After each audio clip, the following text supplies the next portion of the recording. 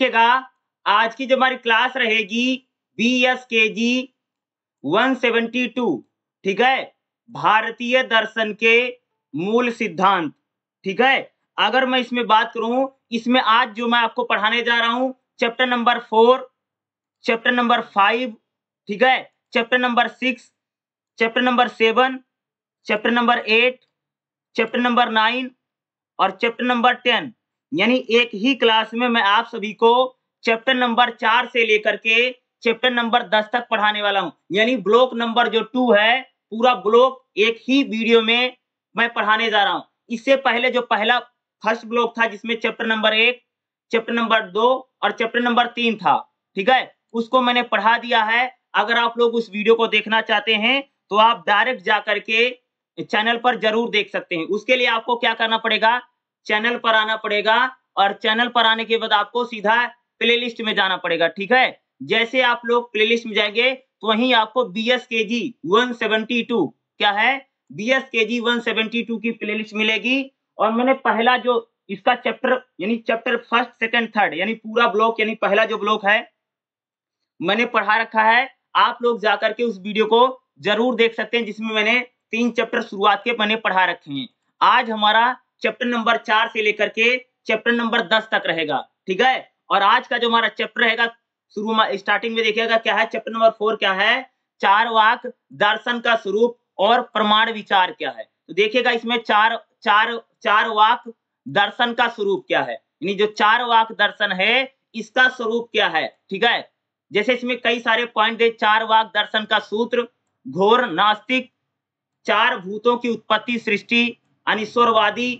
शरीर ही आत्मा पाप पुण्य का निषेध पुनर्जन्म स्वर्ग नरक का निषेध केवल प्रत्यक्ष प्रमाण को मान्यता ये चार वाक दर्शन के क्या क्या स्वरूप हैं और उसी में दे रखा है प्रणाम विचार ठीक है प्रणाम विचार क्या है तो खास तौर से अगर मैं बात करूं एग्जाम के पॉइंट ऑफ व्यू से अगर आप देखेंगे तो इसमें चार वाक चार वाक जो है दर्शन का जो स्वरूप है क्योंकि ये काफी इंपॉर्टेंट है जो कि एक एग्जाम में आपसे पूछा जा सकता है और एक चीज मैंने शुरू में पहले ही आपको बता रखा था इसका जो पेपर होगा ना वो सौ नंबर का पेपर होगा याद रखिएगा कितने नंबर का सौ नंबर का पेपर होगा और एग्जाम आपका तीन घंटे का ही रहेगा ठीक है सौ नंबर का पेपर रहेगा तीन घंटे का पेपर होगा और सौ में से पैंतीस नंबर यानी थर्टी फाइव नंबर आपका पासिंग मार्क रहेगा इस चीज को याद जरूर रखिएगा ठीक है इस एग्जाम की जो टाइमिंग है थ्री आवर्स रहने वाली है हो सकता है ठीक है चलिए हम इसका देख लेते हैं देखिएगा तो यहाँ पर आइएगा क्या है चार वाक दर्शन का स्वरूप क्या देखिए चार वाक दर्शन अत्यंत प्राचीन है भैया बहुत पुराना दर्शन है नहीं बहुत पुरानी फिलोसफी है ठीक है चार वाक संकेत का संकेत वेदों में बौद्ध ग्रंथों में पुराणों में मिलता है नहीं जो चार वाक दर्शन है इसके बारे में हम लोगों को वेदों में बौद्ध बौद्ध ग्रंथों में और जो पुराण है उसमें देखने को मिलता है इसके अतिरिक्त चार वाक दर्शन की प्राचीनतम इस बात से भी पता चलता है कि अन्य भारतीय दर्शन में चार वाक का खंडन किया गया है जिससे यह सिद्ध होता है कि चारवाक का विकास अन्य दर्शनों से नहीं कह सकते सबसे पुरानी जो फिलोसफी है अगर हम इंडियन फिलोसफी यानी भारतीय दर्शन को पढ़ेंगे तो उसमें वाक जो दर्शन बहुत पुराना है क्योंकि जितने भी दर्शन आए हैं उन सभी दर्शनों में इस दर्शन का कह सकते कि खंडन किया गया है यानी इसकी बातों को बातें की यानी सबसे पुरानी जो फिलोसफी है यानी जो दर्शन है वो कह सकते हो कि चार वाक दर्शन है ठीक है अगर प्राय सभी दर्शनों के द्वारा इससे पूर्व पूर्व प्रत्यक्ष रूप में प्रस्तुत किया गया है चार वाक दर्शन के स्वरूप को हम उसके सूत्रों के माध्यम से समझने का प्रयास करते हैं क्या यानी चार वाक दर्शन है उसका जो स्वरूप है यानी उसका जो स्वरूप मानी उसका आकार प्रकार जो है उसके जरिए हम इस दर्शन को समझ सकते हैं तो देखेगा चार वाक दर्शन के सूत्र देखेगा सबसे पहले क्या इसमें दे रखा है जो चार वाक दर्शन है इसका कौन कौन सा क्या भैया सूत्र क्या है तो अगर हम अगर हम सूत्रों की बात करें तो देखेगा चार वाक दर्शन के बारे में विद्वानों ने अलग अलग विचार किए हैं भैया जितने भी विद्वान लोग हैं ठीक है उन लोगों ने अलग अलग विचार प्रकट किए हैं यानी कोई कुछ कहता है कोई कुछ कहता है इसका कारण यह है कि चार वाक दर्शन कोई स्वतंत्र ग्रंथ उपलब्ध नहीं यानी इसको लेकर के कोई किताब उताब नहीं लिखी गई है ठीक है यानी कोई फिक्स किताब बुक नहीं लिखी गई यानी ये जो दर्शन है यानी ये जो फिलोसफी है उसको लेकर उसका कोई ग्रंथ नहीं है यानी कोई किताब उपलब्ध नहीं है ठीक है डॉक्टर राधा कृष्णन ने के अनुसार बृहस्पति के सूत्र चार वाक दर्शन के प्रमाण है जिसे डॉक्टर डॉक्टर राधा कृष्णन कहते हैं कि जो बृहस्पति के जो सूत्र हैं वो इस दर्शन के क्या प्रमाण है ठीक है परंतु इस सूत्रों का पता आज तक नहीं चला है यानी जो चार वाक दर्शन है भैया ये बहुत पुराना है पहली बात तो यही और इसको लेकर के अलग अलग आदमी अलग अलग बात कहता है ठीक है और इतना पुराना है ये कि इसके बारे में कोई किताब उताब है नहीं और जब इसके बारे में कोई रिटर्न लिखित कोई दस्तावेज ही नहीं है तो भैया जिसके मन में जो आता है वो वही बात कहता है लेकिन डॉक्टर राधा कृष्णन है जो कहते हैं कि इसके बारे में बृहस्पति जो है उनके उसमें हमें देखने को मिलता है ऐसी स्थिति में यह विचार मस्तिष्क में आता है और सूत्रों के अभाव में चार वाक दर्शन विचारों का कैसे पता चलता है भारतीय दर्शन पद्धति में दृष्टिपात करने में इसका उत्तर प्राप्त होता है यानी जो चार वाक दर्शन है अगर हम लोग बात करें इसके बारे में कोई रिटर्न डॉक्यूमेंट नहीं है यानी लिखित दस्तावेज नहीं है ठीक है क्योंकि बहुत पुराना है इसलिए इसके बारे में हमारे पास लिखा हुआ कुछ है नहीं इसलिए जो विद्वान है अलग अलग विद्वान इसके बारे में अलग अलग बातें कहते हैं भारतीय दर्शन पद्धति अपने पक्ष या उपासन करने से पहले पूर्व प्रत्यक्ष उपस्थित करती है बाद में उसकी युक्ति पूर्व उसका खंडन करती है किसी प्रमाण एवं मौलिक ग्रंथ के अभाव में अन्य दर्शन से पूर्व प्रत्यक्ष रूप में जो तथ्य प्राप्त होते हैं उसे हम चारवाक दर्शन के विषय में पता चलता है यानी कहें ये दर्शन इतना पुराना है कि जितने अन्य दर्शन आए हैं उन दर्शनों में कह सकते कि इसके बारे में हमें देखने को मिलता है लेकिन इसके बारे में कोई मौलिक ग्रंथ नहीं है यानी इस, इस यानी ये दर्शन यानी ये फिलोसफी है इसको लेकर के कोई मौलिक ग्रंथ मतलब समझते हो यानी कोई साइंटिफिक बुक यानी कोई प्रमाणिक बुक इसमें इसके लेकर के नहीं लिखी गई है इसलिए कह सकते इसके बारे में बहुत ज्यादा एक प्रकार से भाई यानी समझ नहीं आते यानी अलग अलग लोग लो, लो जो है लेकर के अलग अलग बातें करते हैं चार वाक दर्शन जो सूत्र है अगर हम इसकी बात करें संबंधित हमें अन्य भारतीय दर्शन से प्राप्त होते हैं ये सूत्र इस प्रकार हैं जैसे जैसे अगर आप देखोगे पृथ्वी जल तेज और ये चार तत्व हैं ये दर्शन कहता है कि चार तत्वों की बात करता है ठीक है जो ये दर्शन है किस चीज बात करता है ये कहता है कि चार तत्व हैं चार तत्व कौन कौन से हैं एक तो भैया पृथ्वी दूसरा है जल तीसरा है तेज और चौथा है वायु ठीक है अर्थात पृथ्वी आदि के समूह को शरीर इंद्रियों और विषय कहा गया है इस दर्शन की अगर बात नहीं ये दर्शन एक प्रकार से चार सूत्रों की बात करता है चार तत्व की बात करता है चार तत्व कौन है भैया चार तत्व में पहला तत्व भैया पृथ्वी दूसरा तत्व है जल तीसरा तत्व है तेज और चौथा तत्व क्या है वायु यानी हवा ये चार तत्व की क्या करता है बात करता है ये दर्शन भूत ही चेतना को उत्पन्न करते हैं ठीक है जैसे चेतना से युक्त शरीर ही वस्तुता आत्म आत्मा या चेतना है ठीक है जल जीव के बुलबुले के समान उत्पन्न और नष्ट होते हैं भैया कह रहे हैं जैसे पानी का बुलबुला उठता है और खत्म हो जाता है उसी प्रकार से जो जीव है जीव है वो भी उठ आता है और नष्ट हो जाता है ये ये दर्शन इस बात की कहता है ठीक है अगर हम लोग बात करें इन्हीं सूत्रों में चारवाक दर्शन समस्त है या संभव है कि ये सूत्र किसी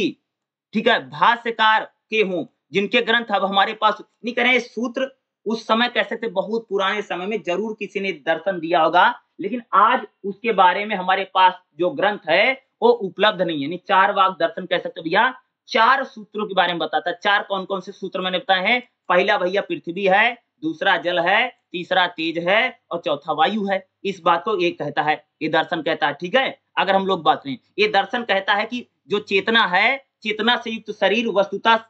आत्मा और चेतना है ठीक है और जीव जीव जीव जीव जो है जल के बुलबुले के समान यानी जीव जीव मतलब जैसे कोई भी हम लोग हैं कुत्ता है बिल्ली खरगोश है हाथी है ये पानी के बुलबुले के समान उत्पन्न होता है और नष्ट हो जाता है यानी खत्म हो जाता है जैसे पानी का बुलबुला नहीं उठता है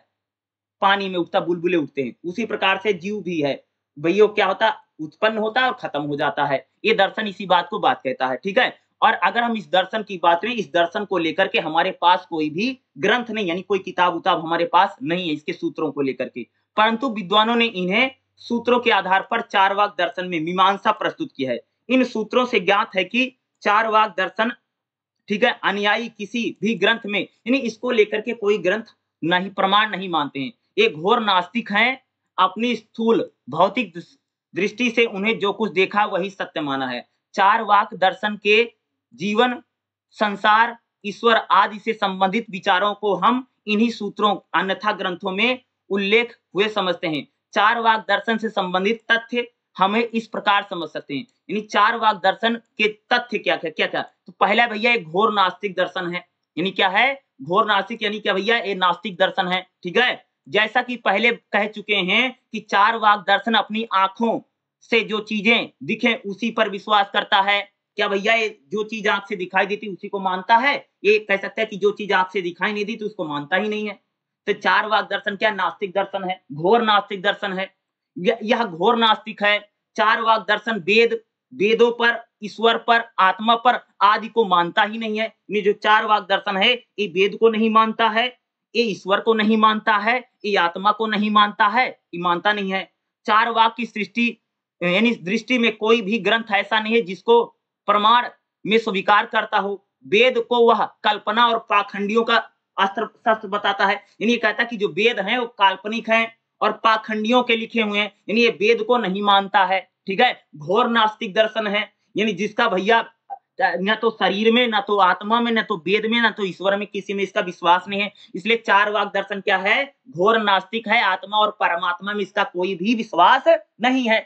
पहली बात हो गई कि घोर नास्तिक दर्शन है पहली बात हो गया दूसरी बात क्या है चार भूत से उत्पत्त सृष्टि है यानी ये ये कहता है देखो ये खास बात है जो चार ये दर्शन जो है ये कहता है कि जो दुनिया है सृष्टि जो है वो चार चीजों से बनी हुई है ठीक है चार वाक के अनुसार जगत की रचना यानी जगत यानी जो भैया पूरा संसार है वो चार चीजों से मिलकर के बना है जैसे पृथ्वी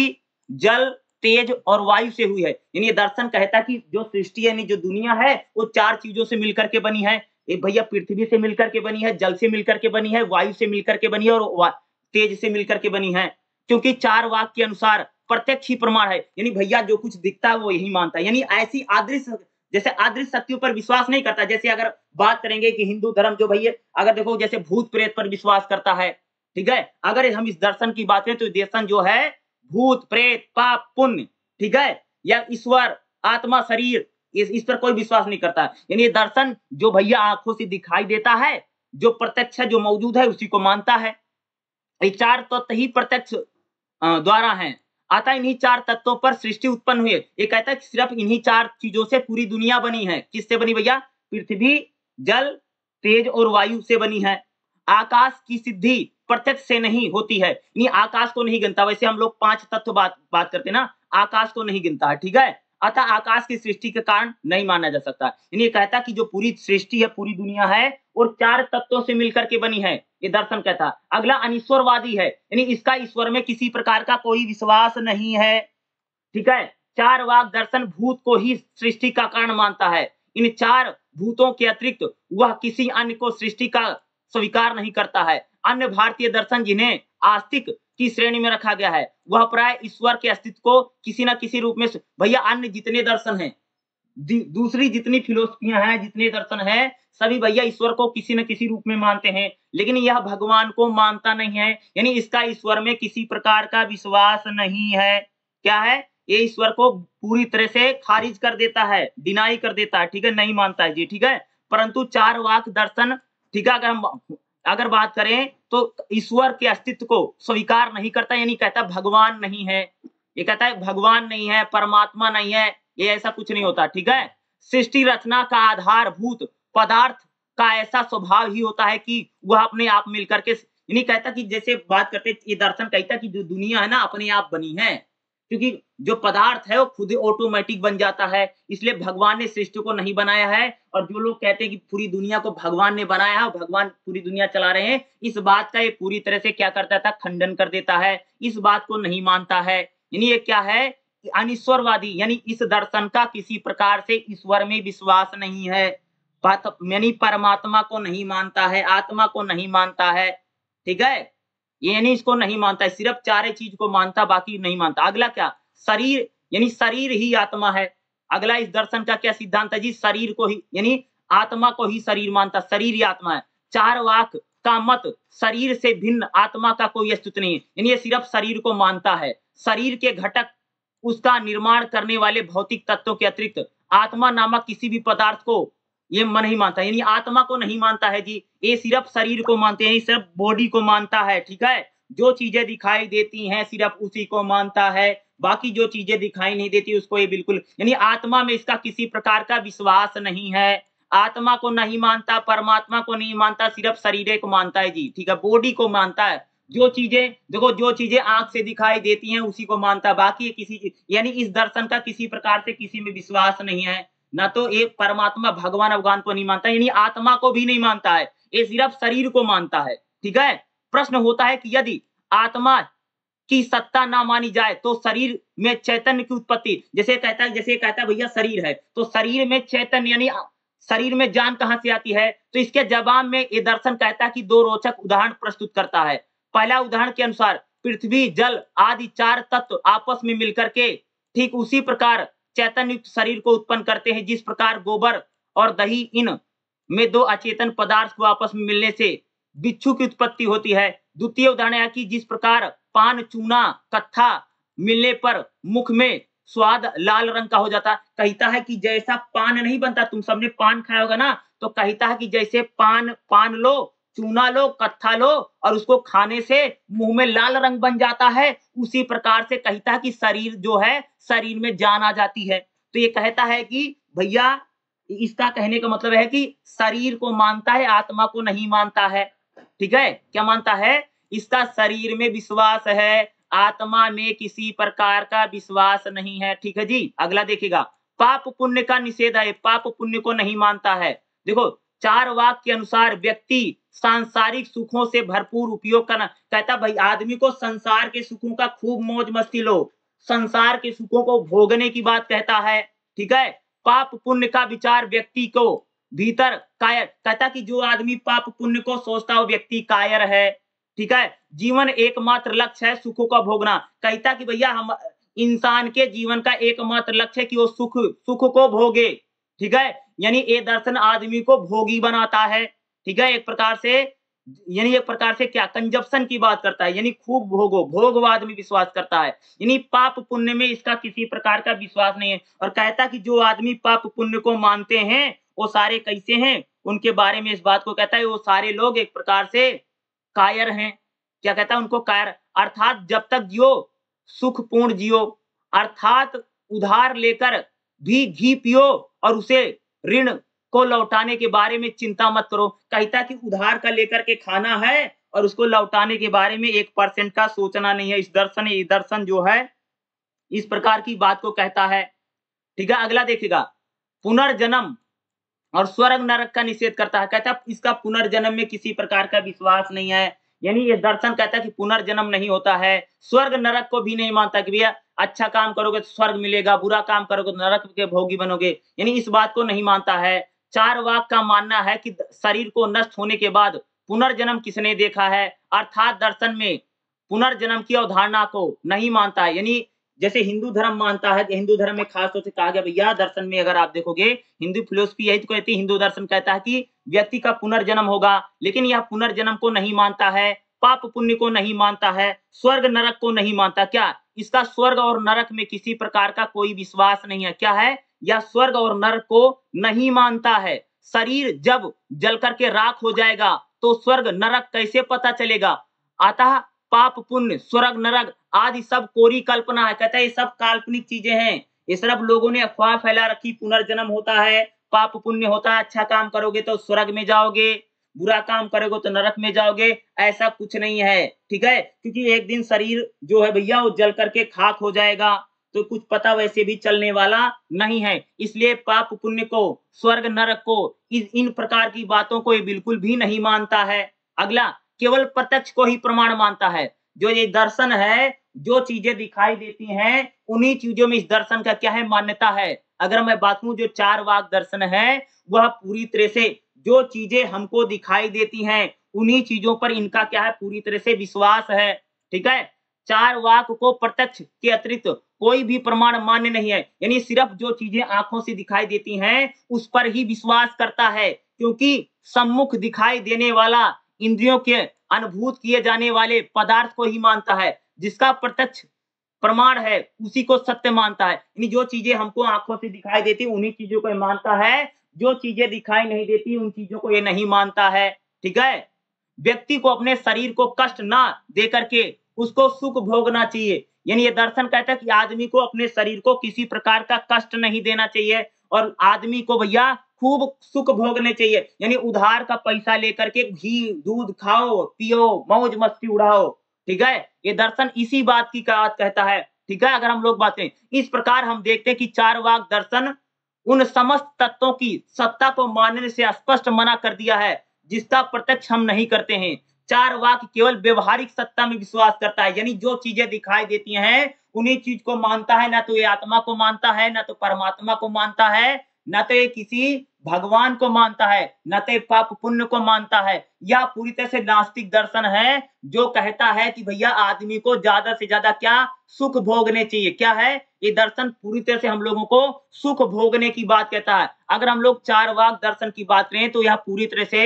व्यक्ति को कह रहा कि इंसान को सिर्फ सुख भोगने चाहिए ऐस ऐस आराम की जिंदगी जीने चाहिए मौज मस्ती से जिंदगी कटनी चाहिए उधार लेकर के खाओ पियो और चुकाने के बारे में हम लोगों को बिल्कुल भी सोचना नहीं है और सबसे पुराना दर्शन बात किया गया है अगर हम इस दर्शन की बात करें और सभी दर्शनों में जितने भी दर्शन आज तक पूरी दुनिया में आए हैं सभी दर्शनों ने इस दर्शन का खंडन किया है इसको गलत बताया है इसलिए कहा जाता है कि जो चार वाक दर्शन है ये सबसे पुराना दर्शन है इससे पुराना कोई भी दर्शन नहीं है अगर इस क्वेश्चन की बात करें तो क्वेश्चन लगभग हमारा समाप्त हो गया है और एक क्वेश्चन आपको एग्जाम में आएगा ही आएगा इस बात को याद रखिएगा ये क्वेश्चन इंपॉर्टेंट है इस टाइप के क्वेश्चन एग्जाम में पूछे जा सकते हैं काफी इंपॉर्टेंट क्वेश्चन है ये चौथे चैप्टर से अब चलिएगा हम लोग अपना अगला चैप्टर देख लेते हैं जो हमारा नेक्स्ट चैप्टर रहने वाला ठीक है चलिए अगला चैप्टर पांचवा देखते हैं ठीक अगला जो हमारा रहेगा चैप्टर नंबर पांच रहेगा देखिएगा चैप्टर नंबर फाइव क्या है जैन दर्शन परिचय एवं प्रमुख सिद्धांत तो इसमें खास तौर से जैसे एग्जाम में पूछेगा जैन दर्शन के सिद्धांत पूछे जा सकते हैं कि जैन दर्शन में कौन कौन से सिद्धांत हैं ठीक है तो देखिएगा जैन दर्शन की हम लोग बात करेंगे महावीर जी का परिचय या जैन धर्म का विकास और जैन धर्म में कौन कौन सी शाखाएं हैं दूसरा हम लोग देखेंगे जैन दर्शन के प्रमुख सिद्धांत यानी जैन दर्शन में कौन कौन से सिद्धांत हैं जैसे तत्व मीमांसा ज्ञान मीमांसा नीति मीमांसा ठीक है इसमें खास तौर से हम लोग बात करेंगे जैसे सम्यक दर्शन है सम्यक ज्ञान है सम्यक चरित्र है और जैन दर्शन में पांच महाव्रत बताए गए क्या बताए गए हैं जैन दर्शन में पांच महाव्रत बताए गए तो पांच महाव्रत कौन कौन से हैं ठीक है तो पांच महाव्रतों के बारे में जरूर देखेंगे क्योंकि एक चैप्टर भी आपके लिए इम्पोर्टेंट हो सकता है जैसे आपसे जैन दर्शन वाले में जैन धर्म के बारे में जैन दर्शन वाला टॉपिक जरूर आ सकता है तो चलिएगा हम लोग इसको देख लेते हैं सबसे पहले देखेगा महावीर का पर जीवन परिचय यानी भगवान महावीर या स्वामी महावीर जो हैं इनका जीवन परिचय पांच सौ निन्यानवे ईसा पूर्व महावीर का जन्म वैशाली के समूह समीप कुंड ग्राम में हुआ था यानी जो भगवान महावीर हैं इनको कह सकते हैं इनका जो जन्म है पांच सौ ठीक है ईसा पूर्व वैशाली जो है ठीक है उसके समीप हुआ था इनके बचपन का नाम वर्धमान था क्या था इनके बचपन का नाम वर्धमान था पिता का नाम सिद्धार्थ था क्षत्रिय कुल में कुल के प्रधान थे प्रसिद्ध लक्ष्मी राजा कह सकते इनकी बहन त्रिशला थी वर्धमान की माता रानी बड़े भाई नंदीवर्धन वर्ध वर्धमान का परिवार संबंध मगध के प्रसिद्ध राजवंश था यानी इनका जो संबंध था ये कह सकते कि राजवंश यानी एक प्रकार से राजा के क्या थे लड़के थे कौन थे महावीर ठीक है वर्धमान के परिवार के सदस्य पार्श्वनाथ के संप्रदाय के अनुयायी थे नहीं जो पार्श्वनाथ संप्रदाय है उसके अनुयायी किसके थे वर्धमान इसको इनको वर्धमान महावीर भी बोला जाता है ठीक है क्योंकि इनके बचपन का नाम क्या है वर्धमान है वर्धमान को भी उन सिद्धांतों से यानी कह सकते कि अगर आप देखेंगे तो वर्धमान जो महावीर हैं ये पार्श्वनाथ जो संप्रदाय है उससे काफी प्रभावित थे क्योंकि इनका जो पूरा परिवार है जो इनकी पूरी फैमिली है उससे काफी प्रभावित थी इनकी पत्नी का नाम यशोदा था इनकी एक पुत्री थी जिसका जिस, जिसका नाम प्रियदर्शनी था प्रियदर्शनी का विवाह कह सकते इन्होंने जल जलमिल नामक क्षत्रिय कुमार से हुआ और बाद में महावीर का प्रथम शिष्य बने क्योंकि इनके जो दामाद थे जैन संप्रदाय में दो दल होने के कारण एक शाखा का प्रमुख बना वर्धमान तीस वर्ष की आयु तक ग्रस्त रहे तीस साल तक इन्होंने शादीशुदा जीवन जिया कितने साल तक जी वर्धमान महावीर जो हैं इन्होंने तीस साल तक शादीशुदा जीवन जिया बाद में माता पिता की मृत्यु के बाद अपने बड़े भाई ठीक है नंदीवर्धन की अनुमति लेकर के इन्होंने घर छोड़ दिया और सत्य की खोज के लिए ये सन्यासी बन गए और 12 वर्ष तक कठोर तपस्या की कितने साल तक भगवान महावीर ने 12 वर्ष तक कठोर तपस्या की बाद में वर्धमान से महावीर को ज्ञान प्राप्त मिला ठीक है बैसाख मास के दसवीं तिथि को पर्वत शिखरों के पास जम्बीक गांव के बाहर नदी के घाट पर एक विशाल साल के वृक्ष के नीचे वर्धमान को ज्ञान प्राप्त हुआ उसके बाद इन्होंने अपने धर्म यानी जैन धर्म का प्रचार किया शिष्यों ने वर्धमान को महावीर का नाम दिया महावीर यानी विजयी यानी योग्य पूजक कह सकते हैं और बाद में कह सकते हैं इस इनके संप्रदाय के नाम से पहले इन्हें जैन धर्म जैन धर्म का इन्होंने प्रचार प्रसार किया महावीर ने पार्श्वनाथ के चार व्रत भगवान महावीर ने पार्श्वनाथ के चार व्रत बताए कौन कौन से चार व्रत बताए हैं भैया सत्य अहिंसा ठीक है यानी सत्य और अहिंसा कह सकते हैं ठीक है अज्योत और अपरिहार ग्रस्त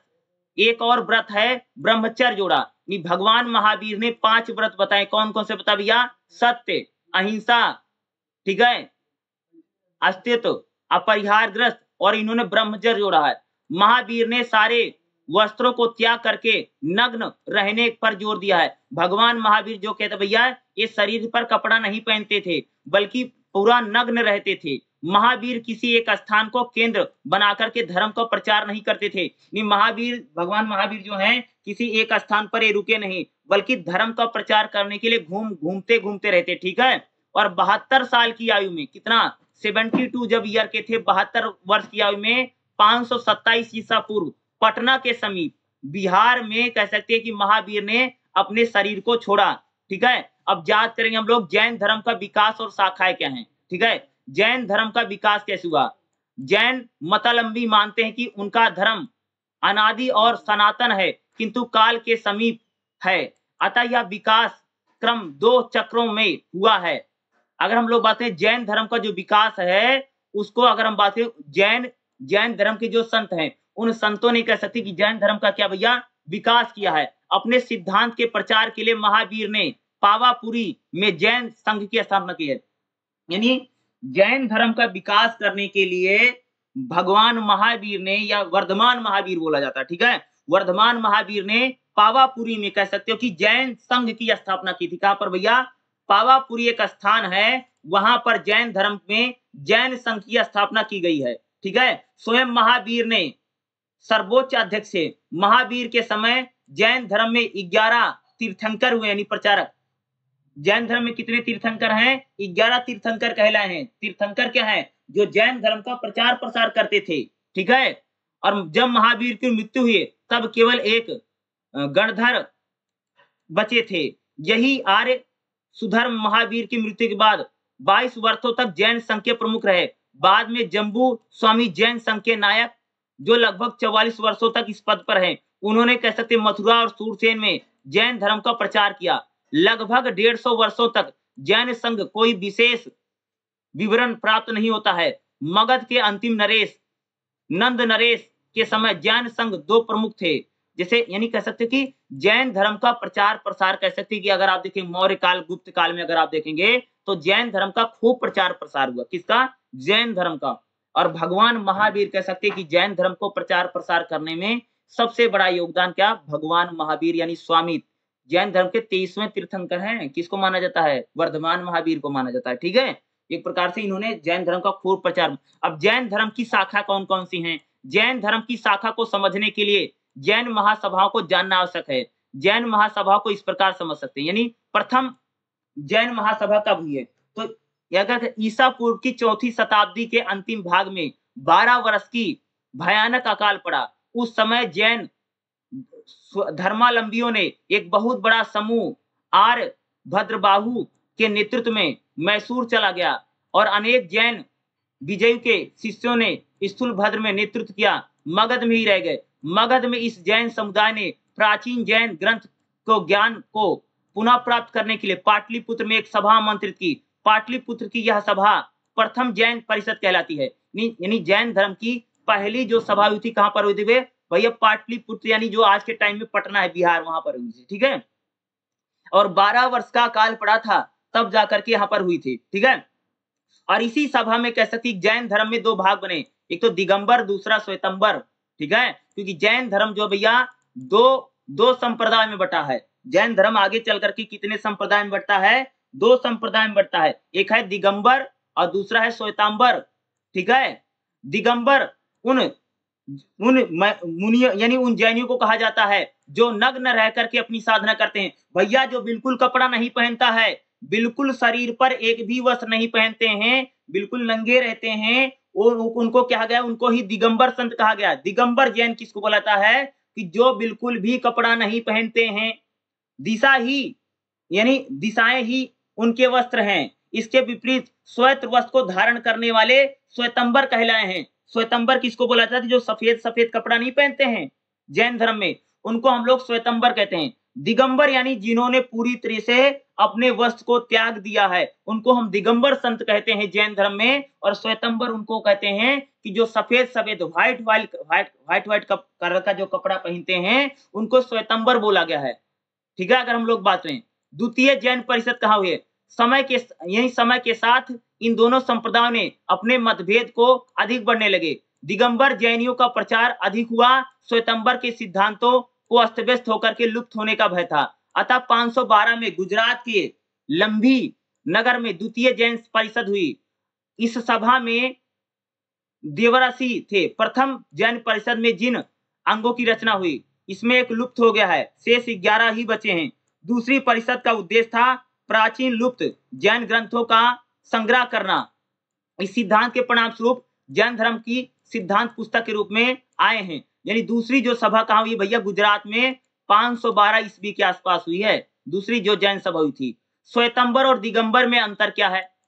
अगर जैन धर्म में देखोगे तो जैन धर्म में भैया तो स्वेतंबर है और दूसरा दिगंबर है पहली बात क्या कि स्वेतंबर उसको बोलते हैं कि जो लोग सफेद कपड़ा पहनता है और दिगंबर उनको बोलते हैं कि जो बिल्कुल कपड़ा नहीं पहनते हैं ये पहला डिफरेंस अंतर है जी भद्र बाहू ने महावीर के सिद्धांत का कठोरता से अनुसरण किया है जबकि स्वतंबर ने न्यू स्थल को डाली है दिगंबर शाखा रूढ़ीवादी है दिगंबर एक प्रकार से रूढ़ीवादी लोग हैं जबकि स्वतंबर है वो परिवर्तन में विश्वास करते हैं भैया जो दिगंबर संत होते हैं वो पुरानी परंपराओं को चलाते हैं लेकिन जो स्वतंबर संत होते हैं और परिवर्तन में विश्वास रखता है दिगंबर जो है वो कपड़ा नहीं पहनते हैं यानी वो दिशाओं को भी यानी जो हमारी दिशा पूरा पश्चिम उत्तर दक्षिण वह दिशाओं को ही अपना वस्त्र समझते अपना कपड़ा समझते हैं नग्न रहते हैं जबकि स्वतंबर जो है वो भैया कपड़ा पहनते हैं स्वतंबर जो संत है क्या है वो कपड़ा पहनते हैं ठीक है स्वतंबर अंग उपंग प्रकीर्ण सभी को प्रमाण मानते हैं दिगंबर नहीं मानते हैं दिगंबर जो है स्त्रियां यानी दिगंबर शाखा में स्त्रियां मोक्ष की अधिकारिणी नहीं है दिगंबर में देखो महिलाएं दिगंबर संत नहीं हो सकती हैं ठीक है महिलाएं दिगंबर नहीं हो सकती हैं क्योंकि दिगंबर शाखा में माना जाता है कि महिलाएं जो हैं वह मोक्ष की अधिकारी नहीं है लेकिन स्वतंबर में महिलाएं भी संत बन सकती हैं कि जो सफेद सफेद कपड़ा पहनती है उसमें महिलाएं भी होती हैं लेकिन लेकिन दिगंबर जो संत होते हैं उसमें महिलाओं का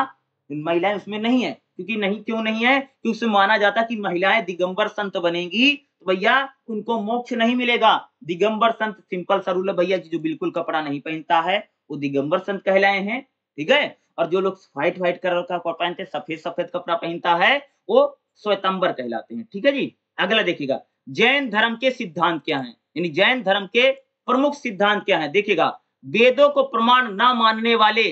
नास्तिक जैन धर्म का प्रमुख प्रयोजन यह है कि जीव संसारिक दुखों से मुक्त होकर के आध्यात्मिक सुख का उपभोग करे देखो जो जैन धर्म है वह वेदों को नहीं मानता है क्योंकि जो जैन धर्म है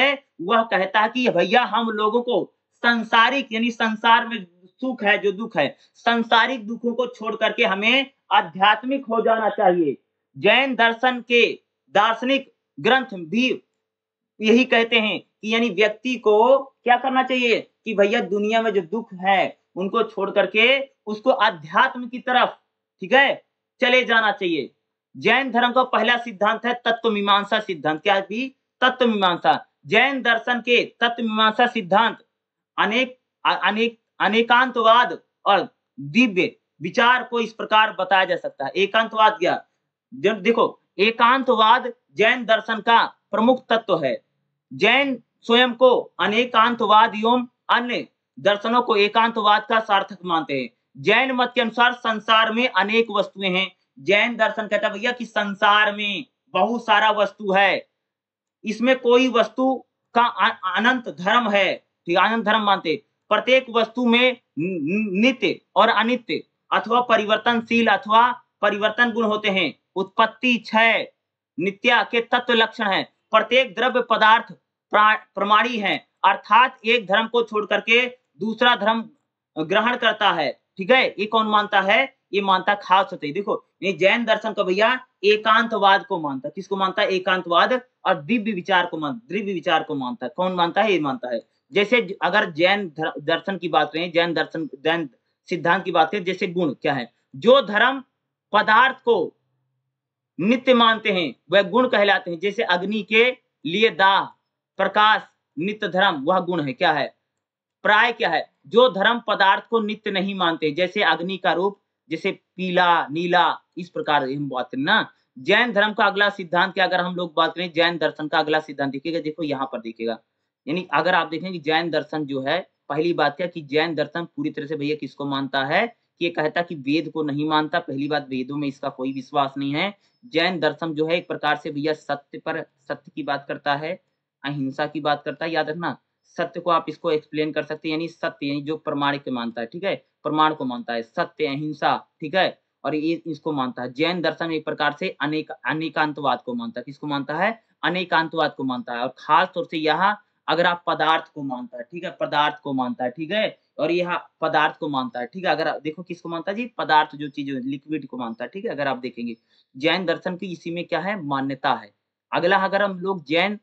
सिद्धांत की बात करें जैन सिद्धांत जो है ज्ञान मीमांसा की बात करती है यानी ज्ञान की बात करता है ज्ञान मीमांसा देखो जैन दर्शन ज्ञान मीमांसा सिद्धांत को मानता है अतः जैन दर्शन ज्ञान मीमांसा को मानता है ठीक है जैन दर्शन प्रमाणिक ग्रंथ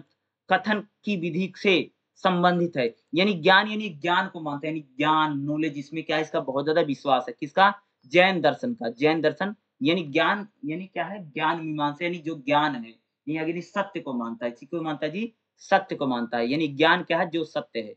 ज्ञान किसको बोला गया जो सत्य है उसको बोला जाता है ज्ञान ठीक है यानी ये सत्य को मानता है सत्य में क्या इसका विश्वास है दूसरा किस में विश्वास है जी इसका अहिंसा में किस में विश्वास है जैन दर्शन का दूसरा विश्वास क्या अहिंसा मानता है यानी क्या है किसी भी यानी किसी भी जीव के प्रति व्यक्ति को हिंसा नहीं दिखानी चाहिए क्या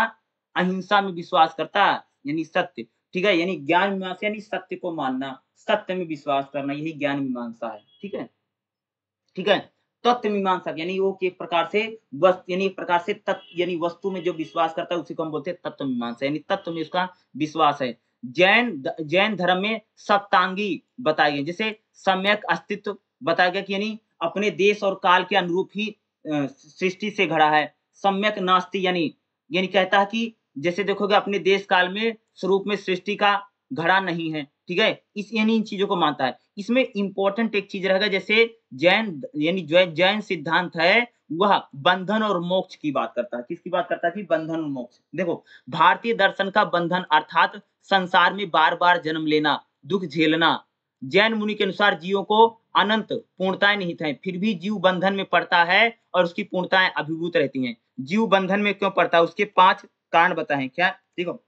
देखो जैन दर्शन कहता है कि भैया इंसान जब बार बार जन्म लेगा जैसे जन्म लेगा तो उसको दुनिया भर के दुख भोगने पड़ते हैं और फिर वो मर जाता है फिर जन्म लेता है फिर क्या करता है दुख को भोगता है ठीक है और इंसान जो है वह बार बार जन्म लेकर के दुखों को भोगता है उसके उन्होंने का, पांच कारण बताए कौन कौन से अविद्या ठीक है अवृत्ति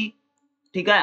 अप्रमाद ठीक है कणसाय और योग ये पांच ऐसी चीजें हैं जिस कारण से व्यक्ति जो है भैया बार बार जन्म लेता है और बार बार इस धरती पर आता है और बार बार क्या होता है वह दुख को भोगता है नीति मीमांसा सिद्धांत क्या है क्या है नीति मीमांसा सिद्धांत क्या है तो नीति मीमांसा में अगर आप देखोगे नीति मीमांसा जो जैन धर्म है अनिश्वरवादी है जैन दर्शन जो जैन धर्म है ईश्वरवाद का खंडन करता है इसे अनिश्वरवादी कहा गया है जैन दर्शन ईश्वर की सत्ता को सिद्ध करने के जो तर्क है प्रमाण दिए गए हैं जैन दर्शन अस्वीकार जैन दर्शन जो है जैन जो जैन दर्शन है वह ईश्वर में किसी प्रकार का इसका विश्वास नहीं किसका भैया जो जैन दर्शन है जैन धर्म है उसका ईश्वर में किसका भगवान में किसी प्रकार का विश्वास नहीं है पहली बात एक याद रखना दूसरा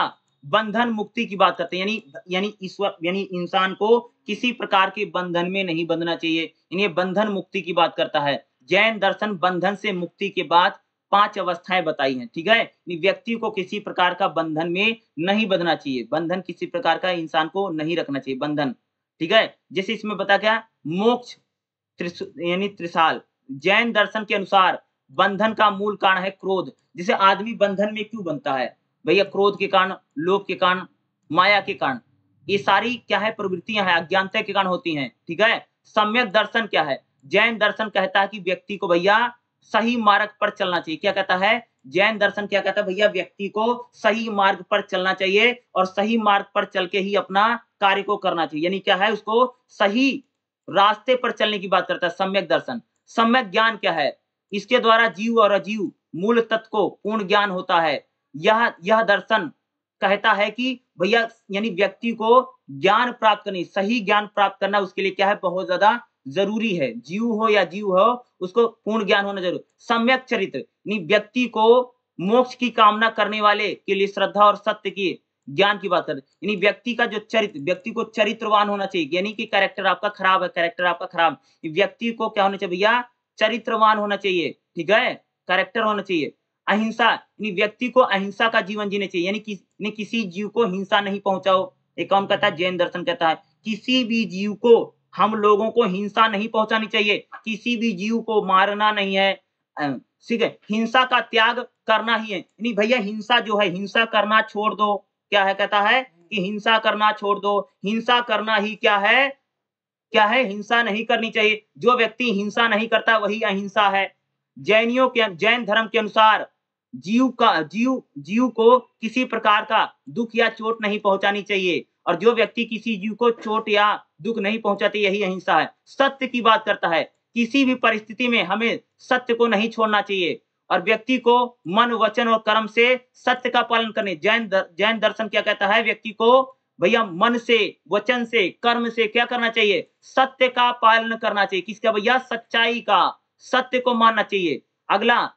जैन दर्शन कहता है चोरी नहीं करनी चाहिए अपने वन और वचन और कर्म से किसी वस्तु की चोरी ना करें आ, आ, जो जो चीजें आपके पास नहीं है वो चीजें आपके लिए नहीं है चोरी नहीं करना चाहिए परिहार ग्रह क्या है विषय से यानी विषय से आसक्ति को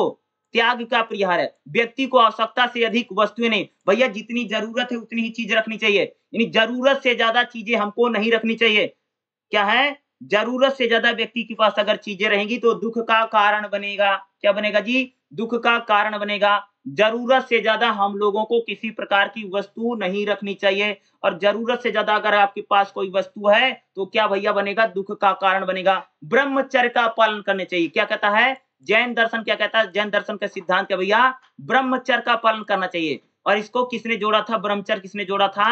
क्या अगर कह सकते हो कि कह सकते हो किसने जोड़ा था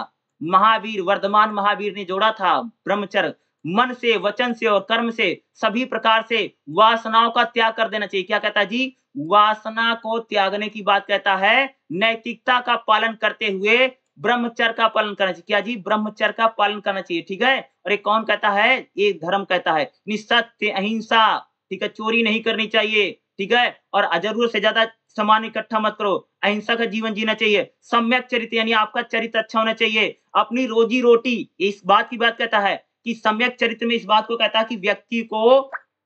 भैया जो रोजी रोटी है जो रोजगार है वो सच्चाई के साथ करना चाहिए गलत काम करके रोजी रोटी नहीं कमानी चाहिए ठीक है यानी मोक्ष पाय चरित्र की बात करता है व्यक्ति में किसी प्रकार का क्रोध नहीं होना चाहिए व्यक्ति में किसी प्रकार का लोभ लालच और माया जो है इन सारी चीजों को त्याग देना चाहिए व्यक्ति में अगर ये चीजें हैं तो व्यक्ति में अज्ञानता बढ़ेगी क्या बढ़ेगा जी अज्ञानता बढ़ेगी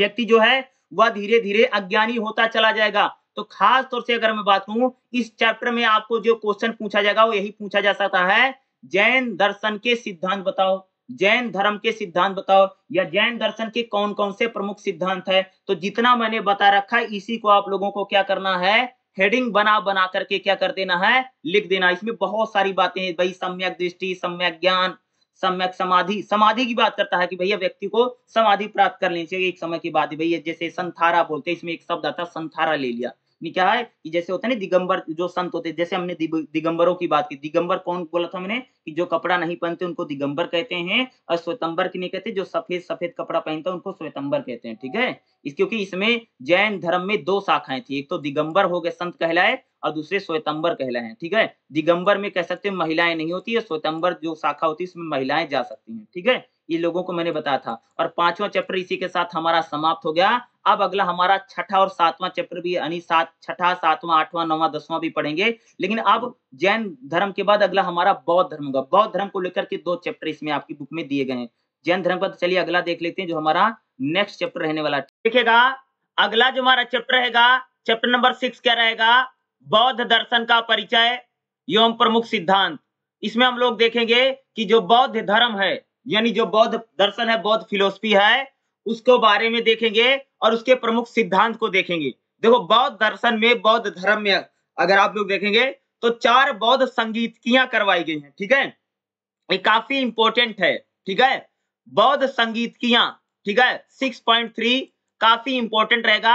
आपका चैप्टर नंबर सिक्स में से और चैप्टर नंबर सिक्स में ही अगर आप देखेंगे तो हीनयान और महायान शाखा क्या है क्योंकि जो बौद्ध धर्म था वह दो संप्रदाय में यानी दो शाखाओं में बटा है हीनयान और महायान और सबसे इंपॉर्टेंट आपका बनेगा 6.5 में बौद्ध दर्शन के प्रमुख सिद्धांत यानी जो बौद्ध दर्शन है उसके कौन कौन से सिद्धांत हैं जैसे उसमें चार आर्य सत्य बताए गए हैं क्षणिकवाद है अनात्मावाद है और अनिश्वरवाद है ये काफी इंपॉर्टेंट है बौद्ध दर्शन के प्रमुख सिद्धांत हीनयान और महायान इसमें वज्रायन शाखा क्या है साथ में जो हम लोग पढ़ने जाएंगे बौद्ध संगीत किया जैसे प्रथम बौद्ध संगीत की द्वितीय बौद्ध संगीत की तृतीय बौद्ध संगीत की और जो चतुर्थ बौद्ध संगीत की है क्योंकि ये काफी इंपॉर्टेंट है जो कि आपके एग्जाम में पूछे जा सकते हैं तो चलिए हम लोग इसको देख लेते हैं क्योंकि हमारे लिए इंपॉर्टेंट है देखेगा बौद्ध संगीत किया देखिएगा विकास के सिद्धांत किसी भी वस्तु के उत्पन्न होने के बाद उसका विकास संभव करें भैया कि कोई भी चीज जब कोई भी चीज आती है तभी उसका विकास होता है उसी प्रकार से कह सकते हो कि जब बौद्ध धर्म आया तभी ही बौद्ध धर्म का विकास हो पाया बुद्ध के निर्माण के पश्चात त्रिपिकट संग्रह तैयार किया गया देखो जो महात्मा बुद्ध हैं महात्मा बुद्ध के बाद ही त्रिपिटक का संग्रह तैयार किया गया है जिसे त्रिपिटक मतलब समझते हैं जो बौद्ध ग्रंथ हैं उनको ही क्या बोला जाता है त्रिपिटक बोला जाता है त्रिपिटक में तीन ग्रंथ हैं जैसे विनय पिटक है सुत पिटक है और अभिदम पिटक है ठीक है अरे जो ये त्रिपिटक है यह जो बौद्ध धर्म से जुड़े जो ग्रंथ है इनका जो लिखा गया है समय समय पर बौद्ध धर्म की संगीतियां करवाई गई हैं और इनका आयोजन अति आवश्यक था यद्यपि बुद्ध के समय में ही बौद्ध धर्म का पर्याप्त विकास हो चुका था अगर हम लोग बात करें जो बौद्ध धर्म है बौद्ध धर्म का जो विकास है वह महात्मा बुद्ध के समय ही हो चुका था क्या मैंने बोला कि जो बौद्ध धर्म है बौद्ध धर्म का जो विकास है वो महात्मा जो बुद्ध हैं उनके समय ही हो चुका है तथा बौद्ध धर्म के क्रमिक विकास में इन महासभाओं का सार्वधिक योगदान है कि भाई मेरे जो बौद्ध धर्म है उसमें ये जो बौद्ध संगीतज्ञा हुई हैं इनका काफी इंपॉर्टेंट योगदान रहा है जिन्होंने बौद्ध ग्रंथ को संगीत संगीतगी का नाम दिया उन महासभाओं में मूलतः बुद्ध के वचनों को उनके शिष्यों द्वारा दोहराया गया अथवा गाया गया है देखो जो बौद्ध संगीत की होती थी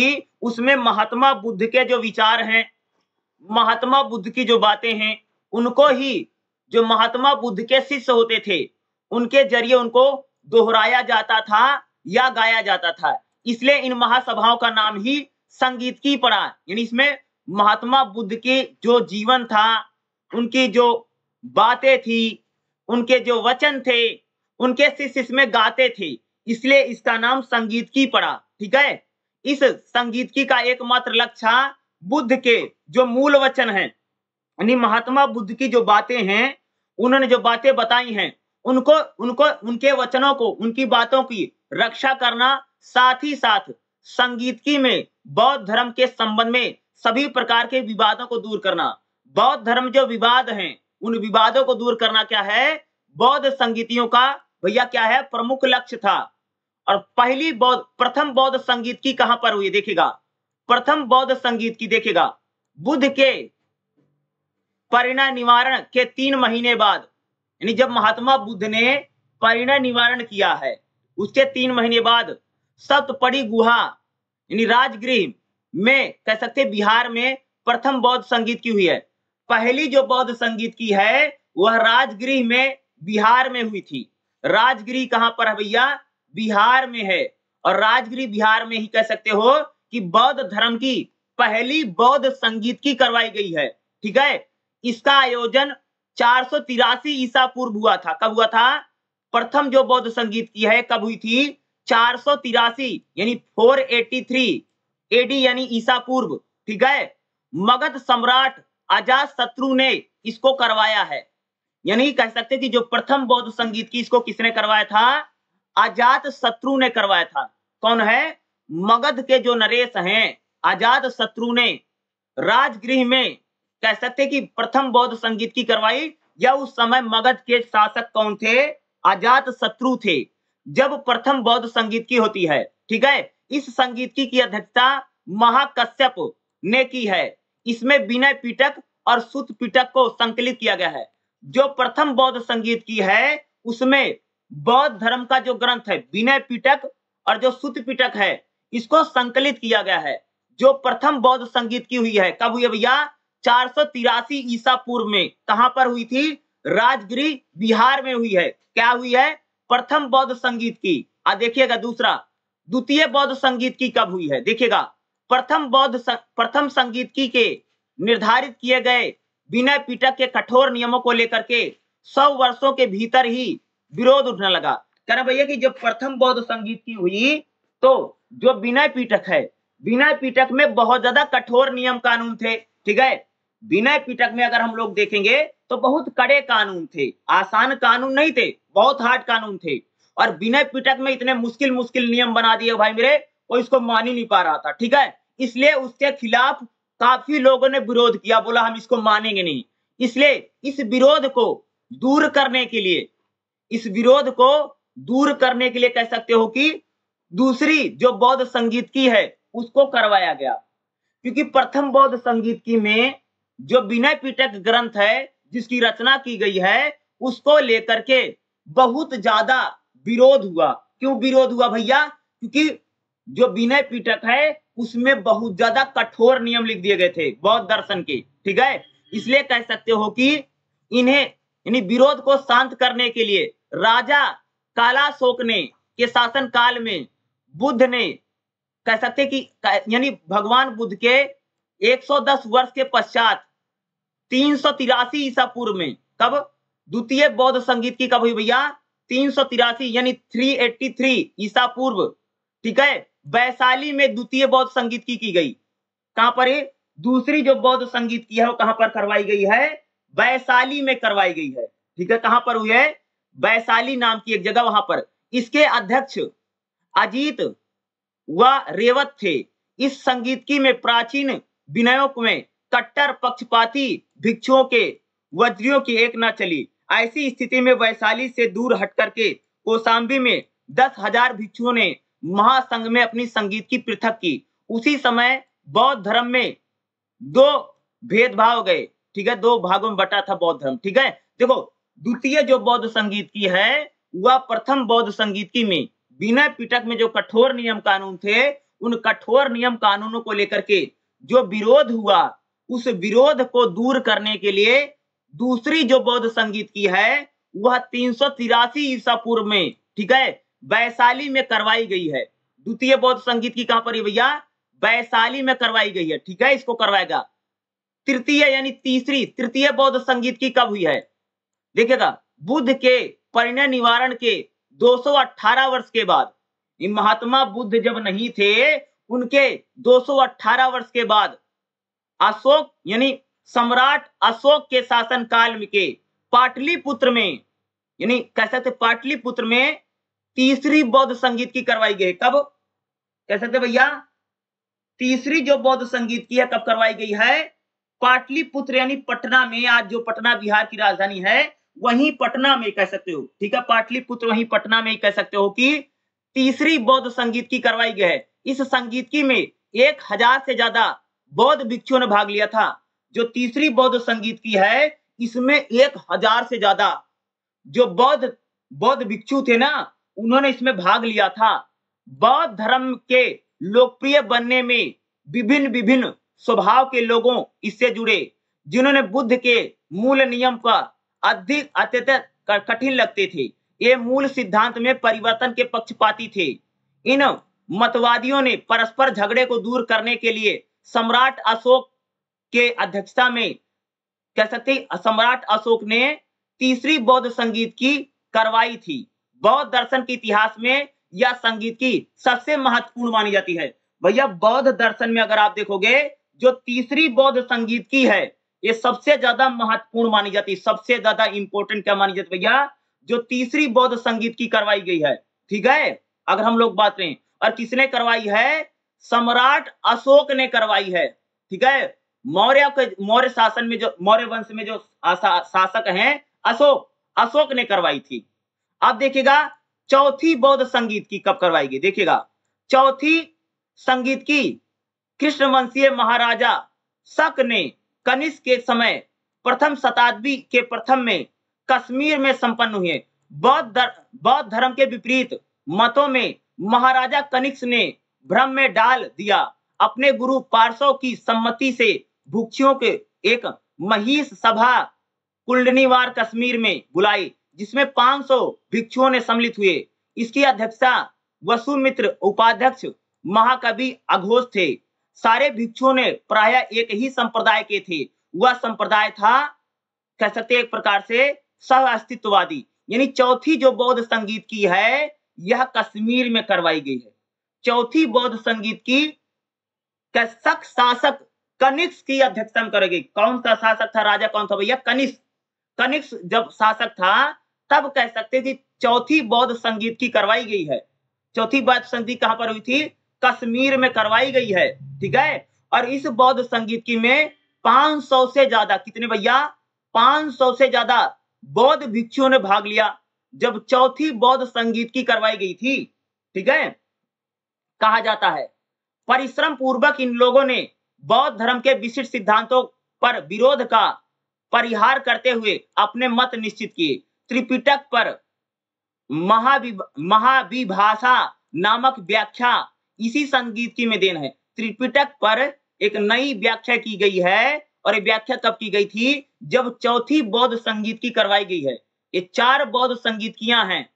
बौद्ध दर्शन में बौद्ध धर्म में भैया उनको ग्रंथों को लेकर के उनमें विवाद को लेकर के ये चार बौद्ध संगीतियां करवाई गई और चौथी बौद्ध संगीत की किसने करवाई है सक शासक कनिक्स ने करवाई है और कहां पर करवाई भैया प्रथम शताब्दी ईसा पूर्व कश्मीर में संपन्न हुई कहां पर करवाई थी इसको जो चौथी बौद्ध संगीत की है कश्मीर में करवाई गई कहां पर हुई जी कश्मीर में करवाई गई थी जो चौथी बौद्ध संगीत की है ठीक है अब देखो बुक में आपकी टेबल बना रखा बौद्ध संगीतियां जैसे संगीत की पहली स्थान क्या है ये राजगिरी कहां पर हुई राजगिरी में हुई थी राजा कौन था उस समय आजाद शत्रु था अध्यक्ष कौन है महाकश्यप है और इसमें क्या क्या उपलब्धि क्या है सुत पिटक बिना पिटक लिखे गए हैं द्वितीय बौद्ध संगीत की क्या है ये वैशाली में करवाई गई है ठीक है और इस सम, इस समय राजा कौन है काला काला शोक है ठीक है और इस समय अध्यक्ष कौन है बौद्ध संगीत की का अजीत अथवा रेवत थे और इस बौद्ध संगीत दूसरी बौद्ध संगीत की में दो दलों में विभक्त यानी इस समय बौद्ध धर्म जो दो दलों में बट गया था ठीक है और जो तीसरी बौद्ध संगीत की किसने करवाई है ये तीसरी बौद्ध संगीत की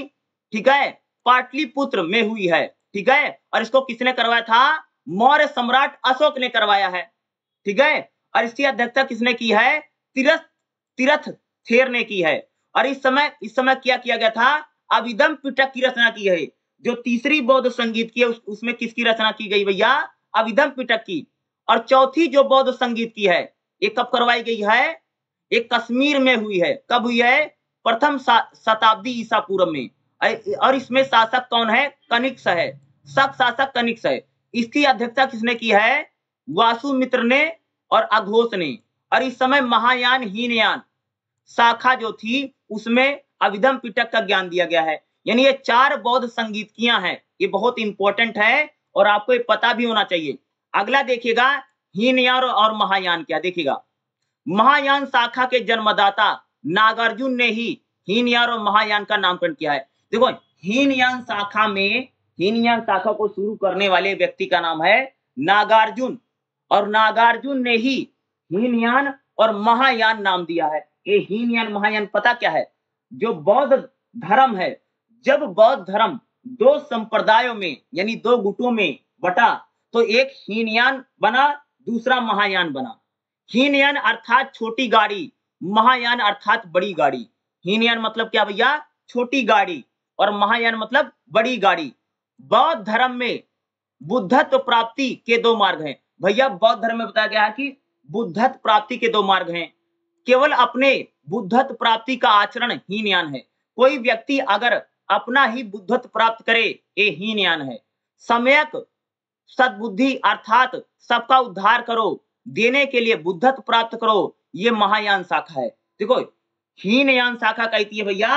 सिर्फ अपने लिए तप करो तपस्या करो लेकिन महायान शाखा कहती है कि भैया सबकी भलाई के लिए आपको क्या करनी है तप करना है सबकी भलाई के लिए आपको क्या करना है तपस्या करनी है ये कौन कहता है ये महायान शाखा कहती है हीनयान से संबंध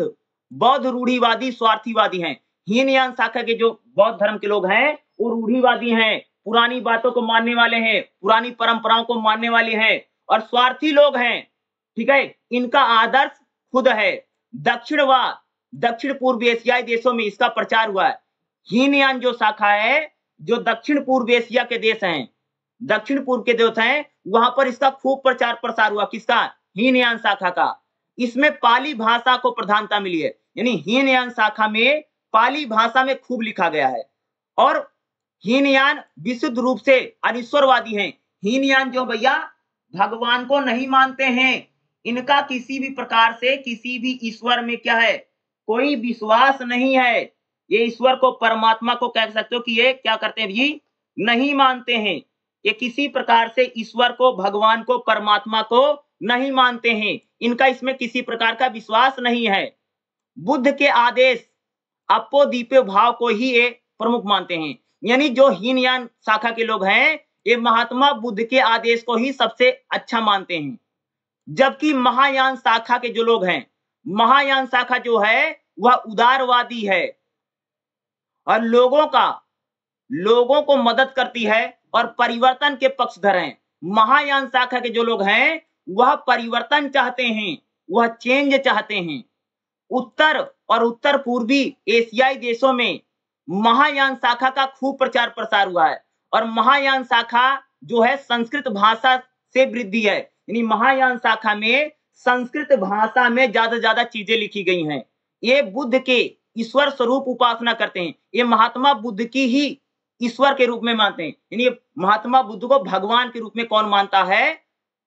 महाहीन महायान शाखा के लोग मानते हैं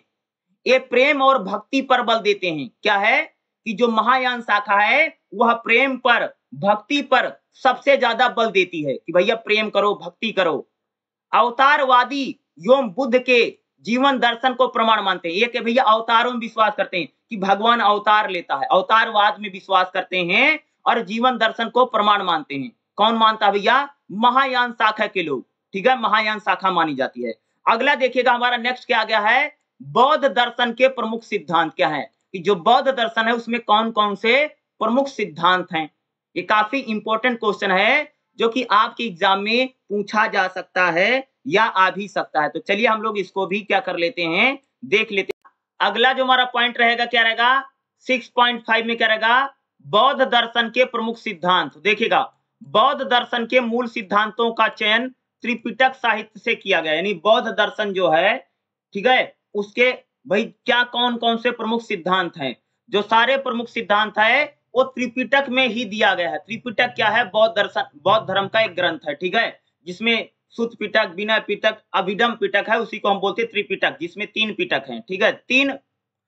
ग्रंथ हैं उसी से बनकर के त्रिपिटक बना है और बौद्ध दर्शन के जो मूल सिद्धांत हैं वह त्रिपिटक में ही दिया गया है जिसका संकलन बुद्ध के शिष्यों ने किया त्रिपिटक किसने लिखा है महात्मा बुद्ध जो थे उनके शिष्यों ने ही क्या लिखा भैया त्रिपिटक को लिखा है बुद्ध केवल अनुभव सिद्ध सिद्ध तथ्यों को ही मुख्य मानते थे यानी महात्मा बुद्ध जिन चीजों को अनुभव करते थे जिन चीजों को देखते थे उन्हीं को ही मानते थे उन्होंने अपनी दार्शनिक यात्रा को कमतर चार आर्स महात्मा बुद्ध ने चार आर्य सत्य बताए हैं चार ही चीजें सत्य हैं बौद्ध दर्शन के प्रमुख सिद्धांतों को इस प्रकार हम समझ सकते हैं यानी जो बौद्ध दर्शन है उसके कौन कौन से प्रमुख सिद्धांत हैं क्या भैया प्रमुख सिद्धांत ये आपके एग्जाम के लिए क्या हो सकता है इंपॉर्टेंट हो सकता है पेपर में आपसे पूछा जा सकता है कि बौद्ध दर्शन के प्रमुख सिद्धांतों को बताइए तो बौद्ध दर्शन का पहला सिद्धांत क्या है बौद्ध दर्शन में चार आर्य सत्य बताए गए हैं अपने अनुभव से बुद्ध ने चार आर सत्य की प्राप्त की है देखो तो महात्मा बुद्ध कहते हैं कि संसार में संसार में कह सकते चार ही चीजें हैं जो सत्य हैं इसलिए वो क्या कहते हैं चार आर सत्य किसने बताए हैं महात्मा बुद्ध ने बताए हैं कौन कौन सा पहला क्या है संसार में दुख है क्या है उन्होंने क्या बोलते भैया महात्मा बुद्ध कहते हैं कि संसार में दुख ही दुख भरा पड़ा है उन दुखों का कारण भी है भैया अगर संसार में दुख है तो दुख का क्या होता है भाई कोई ना कोई तो कारण होता है ना दुखों का नाश संभव है महात्मा बुद्ध कहते हैं भैया इस संसार में जो भी दुख है उस दुख का नाश भी क्या है संभव है और दुखों का अंत अंत का अंत का मार्ग है दुखों को खत्म करने के क्या है रास्ते भी हैं यानी उसका मार्ग भी है ये चार आर्य सत्य हैं जिसमें प्रथम सत्य दुख को सत्य बताया है दूसरा आर्य सत्य है दुख का समुदाय भैया दुख का कोई ना कोई कारण है तीसरा आर्य सत्य है दुख का एक प्रकार से हम लोग क्या कर सकते हैं उसको खत्म कर सकते हैं उसका नाश कर सकते हैं और चौथा क्या है यानी उन्होंने दुख को यानी निरोध मार्ग कहा यानी दुख को हम लोग दुख का मार्ग भी छोड़ सकते हैं और दुख को समाप्त भी किया जा सकता है ये चार आर्य सत्य किसने बताए हैं महात्मा बुद्ध ने इन चार आर्य सत्यों के अंतर्गत कह सकते हैं अष्टांगी मार्ग अत्री रत्न विषय को बताया है इसके बारे में हम विस्तार से भाई अगले चैप्टर में हम खास तौर से हम बौद्ध दर्शन के चार अर्षद को डीपली में पढ़ेंगे बौद्ध दर्शन का अगला जो सत्य यानी सिद्धांत है क्षणिकवाद है क्या है क्षणिकवाद बौद्ध दर्शन का अगला सिद्धांत भाई क्षणिकवाद देखेगा देखेगा खास तौर से बात करें प्रत्येक वस्तु के कारण ही अनुसर होती है कारण नष्ट हो जाए तो कारण स्वयं करें कि कोई भी चीज जो है वह किसी न किसी कारण से होती है अगर कारण ही नष्ट हो जाएगा तो वस्तु भी नष्ट हो जाएगी इससे सिद्ध होता है कि प्रत्येक वस्तु नश्वर है यानी क्या भैया जो वस्तु है वह किसी न किसी चीज से बनी अगर वो चीज खत्म हो जाएगी तो वस्तु खत्म हो जाएगी बुद्ध ने प्रत्युत समुदाय का सिद्धांत अनितवाद का प्रतिफल है बौद्धों का मानना है ठीक है बौद्धों का मानना कि संसार में कोई भी वस्तु नहीं है जो परिवर्तनशील ना हो क्षणिक बात कहता भैया कि संसार में ऐसी कोई वस्तु नहीं है जो परिवर्तनशील ना हो हर चीज क्या है समय के साथ बदलती रहती है अनितवाद को व्याख्यित करते हुए बुद्ध ने कहा जो वृद्ध हो सकता है वह वृद्ध होकर के वह वह वृद्ध होकर के ही रहेगा जो रोगी होना है वह रोगी होकर के रहेगा जो मृत्यु के अधीन है वह अवश्य ही मृत्यु को प्राप्त करेगा भैया जिसको बूढ़ा होना बूढ़ा होगा जिसको रोगी होना रोगी होगा जो जिसको मृत्यु के अधीन होना हो, उसकी मृत्यु तो होगी होगी जो नाशवान है उसका नाश अवश्य होगा धम पद में कहा गया कि जो नित्य और अस्थाई प्रतीत होता है वह नाशवान है जो महान लगता है उसका भी पतन होना है यानी क्या है इस दुनिया में जितनी चीजें हैं उसका कभी ना कभी क्या भैया अंत होना ही है ठीक है क्या है इस दुनिया में जितनी भी चीजें हैं उनका कभी ना कभी भैया अंत होना ही है वो चीजें कभी ना कभी तो समाप्त होने वाली हैं क्या भैया इस दुनिया में जो भी चीज हमको दिखाई देती क्षणिकवाद है वह वस्तु कब खत्म हो जाएगी कब लुप्त हो जाएगी कब परिवर्तनशील हो जाएगी कब बदल जाएगी उसका कोई वो नहीं है प्रत्येक वस्तु असत और दूसरा एकांतित मत है इन दोनों मतों का छोड़ करके बुद्ध का मार्ग उपदेश दिया है मध्य मार्ग का सिद्धांत यह है कि जीवन परिवर्तनशील है महात्मा बुद्ध क्या कहते भैया कि हम लोगों का जो जीवन होता है परिवर्तनशील है समय के साथ बदलता रहता है क्या है जीवन क्या है भैया परिवर्तनशील है क्षणिकवाद को बताते हैं कहते क्षणिकवाद क्या है जीवन एक प्रकार से क्षण है कब खत्म हो जाए कब मिट जाए इसका कोई ठोर ठिकाना नहीं है कब जीवन की लीला समाप्त हो जाए इसका कोई ठोर ठिकाना नहीं भाई आदमी की कब मृत्यु हो जाए कब बीमार हो जाए कब दुख हो जाए इसका क्या है जीवन हमेशा क्या है बदलता रहता है यही क्या है क्षणिकवाद है क्षणिकवाद है दुनिया और अगला क्या है अनात्मावाद क्या है हम जान चुके हैं कि बौद्ध के अनुसार सारे पदार्थ क्षणिक है भैया इस दुनिया में जितनी चीजें हैं सब क्षणिक हैं ठीक है आत्मा को भी अन्य वस्तुओं की तरह परिवर्तनशील बताया गया बौद्ध दर्शन कहते हैं कि आत्मा भी भैया क्या है परिवर्तनशील है बदल सकती है सामान्य धारणा यह है कि आत्मा कि सत्ता जन्म से पहले तथा मृत्यु के बाद भी रहती है देखो जैसे माना जाता है भैया आत्मा जन्म से पहले भी थी और मृत्यु के बाद भी रहेगी एक शरीर के नष्ट होने से दूसरे शरीर में इसका प्रवेश होता है जैसे आत्मा को माना जाता है भैया आदमी तो मर जाता शरीर तो खत्म हो जाता है लेकिन जो आत्मा होती एक एक शरीर को छोड़ करके दूसरे शरीर में चली जाती है ठीक है कहा जाता ना इसका नाम अनात्मावाद है अनात्मावाद क्या है इसका मतलब बेसिक सा यही कि जो हमारा शरीर है इस शरीर एक शरीर को छोड़ करके जो आत्मा है एक शरीर को छोड़ करके वह दूसरे शरीर में चली जाती है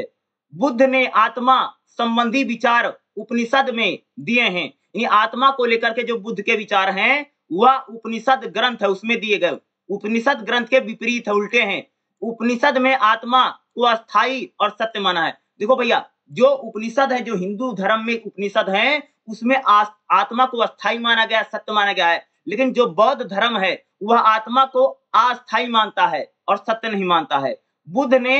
शाश्वत आत्मा का निषेध करते हुए कहा है कि संसार में ना कोई आत्मा है ना ही आत्मा की तरह कोई वस्तु है तो महात्मा बुद्ध कहते हैं कि संसार में आत्मा नाम की कोई चीज नहीं है न इस प्रकार की कोई वस्तु है कौन मानता है महात्मा कौन महात्मा बुद्ध कहते हैं यानी आत्मा में आत्मा परमात्मा में यानी आत्मा में उनका किसी प्रकार का यानी नहीं मानते भी आत्मा को मानते नहीं और कहता कि कहते हैं कि आत्मा जैसी कोई वस्तु भी नहीं होती है कौन मानता है ये बौद्ध दर्शन मानता है या महात्मा बुद्ध मानते हैं ठीक है अगला क्या है अनिश्वरवाद है बौद्ध दर्शन का अगला सिद्धांत क्या है अनिश्वरवाद सामान्य रूप से हम कह सकते हैं कि जगत ईश्वर की सृष्टि है भैया पूरे संसार के ईश्वर ने बनाया है ईश्वर जगत को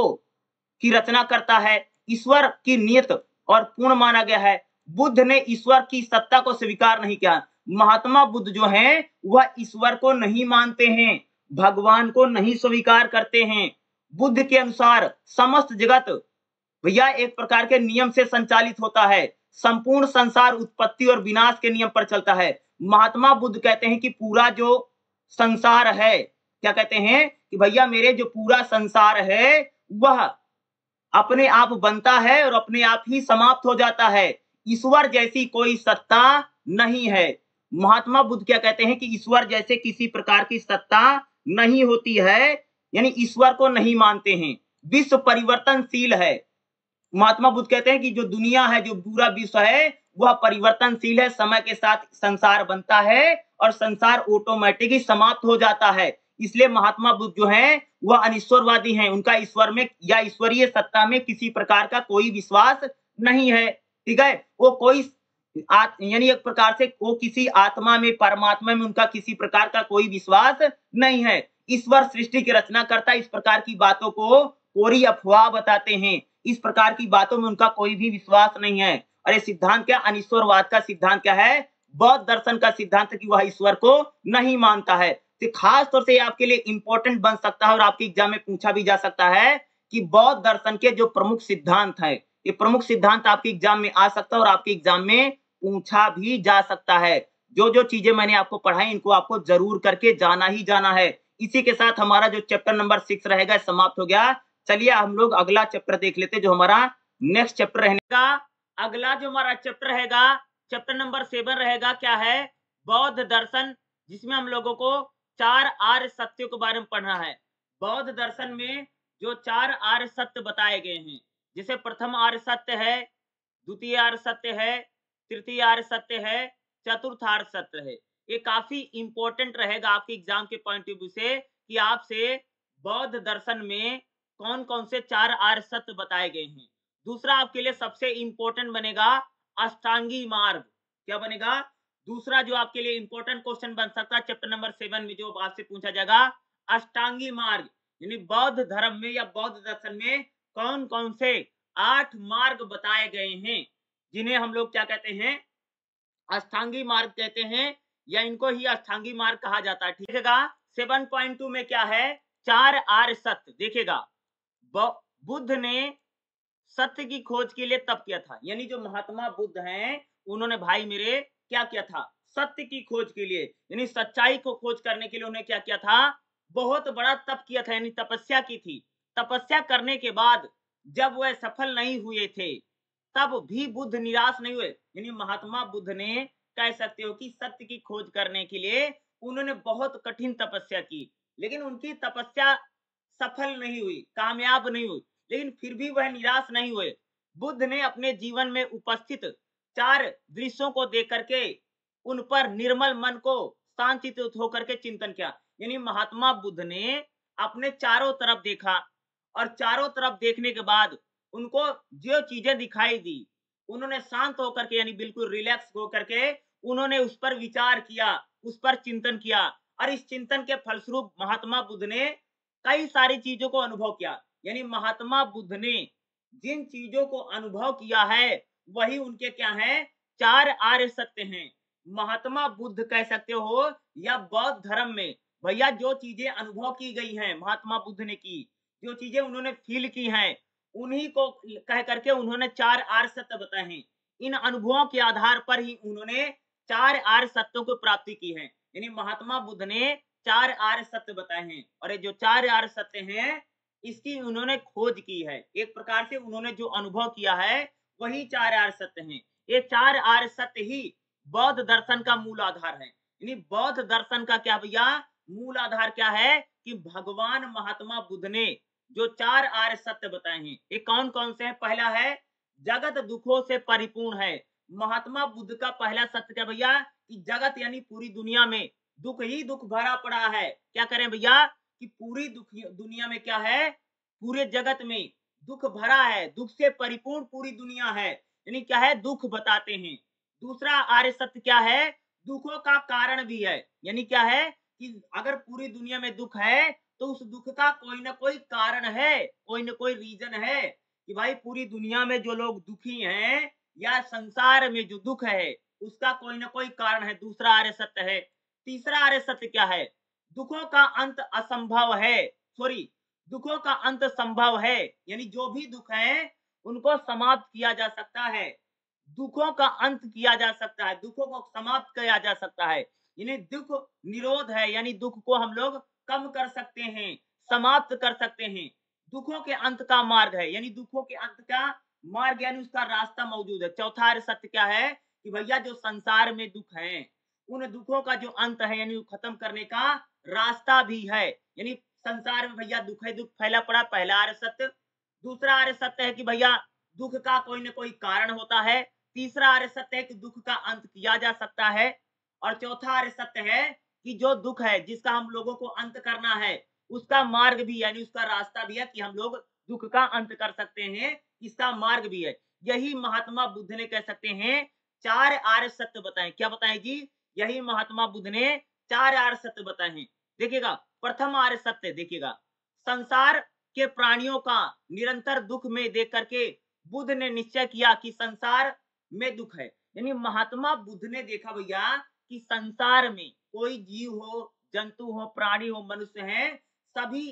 किसी न किसी दुख में जरूर हैं हर आदमी को दुख है बुद्ध ने इस निष्कर्ष को जीवन के विभिन्न अनुभूतियों को गंभीर चिंतन मनन करने के बाद सत्य माना है यानी महात्मा बुद्ध इस बात को सत्य मानते हैं कि पूरी दुनिया में क्या भैया दुख ही दुख भरा पड़ा है हर व्यक्ति किसी न किसी प्रकार से क्या है दुखी है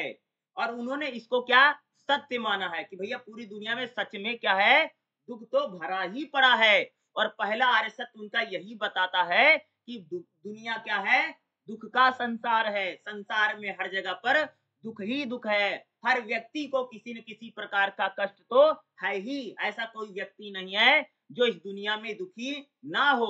पहला आर्य सत्य है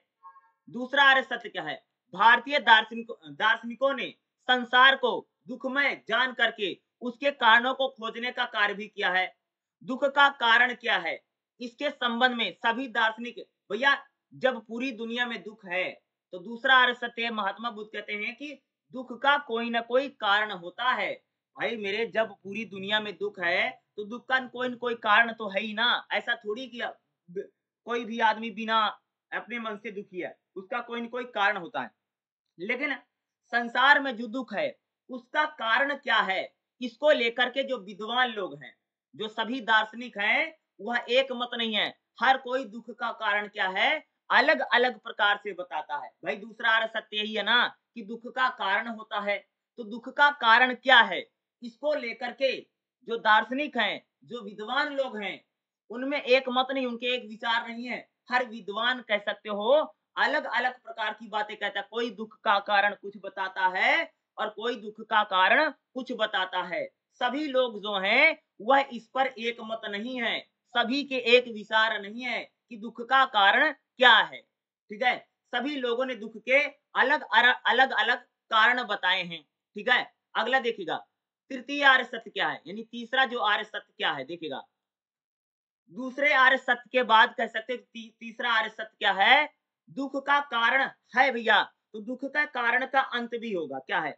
जैसे दूसरा आर्य सत्य कहता है कि दुख का कारण है तो दुख का अंत भी होगा क्या कहता है कि संसार में अगर दुख है तो दुख का भाई अंत अंत अंत भी होगा ना ऐसा थोड़ी कि संसार तीसरा आरस तत्व क्या है कि संसार में जो दुख है उसका अंत भी होगा ऐसा नहीं है कि संसार में दुख बना ही रहेगा भैया सुख दुख तो आता जाता रहता तुम सबने सुना भी होगा ना कि भैया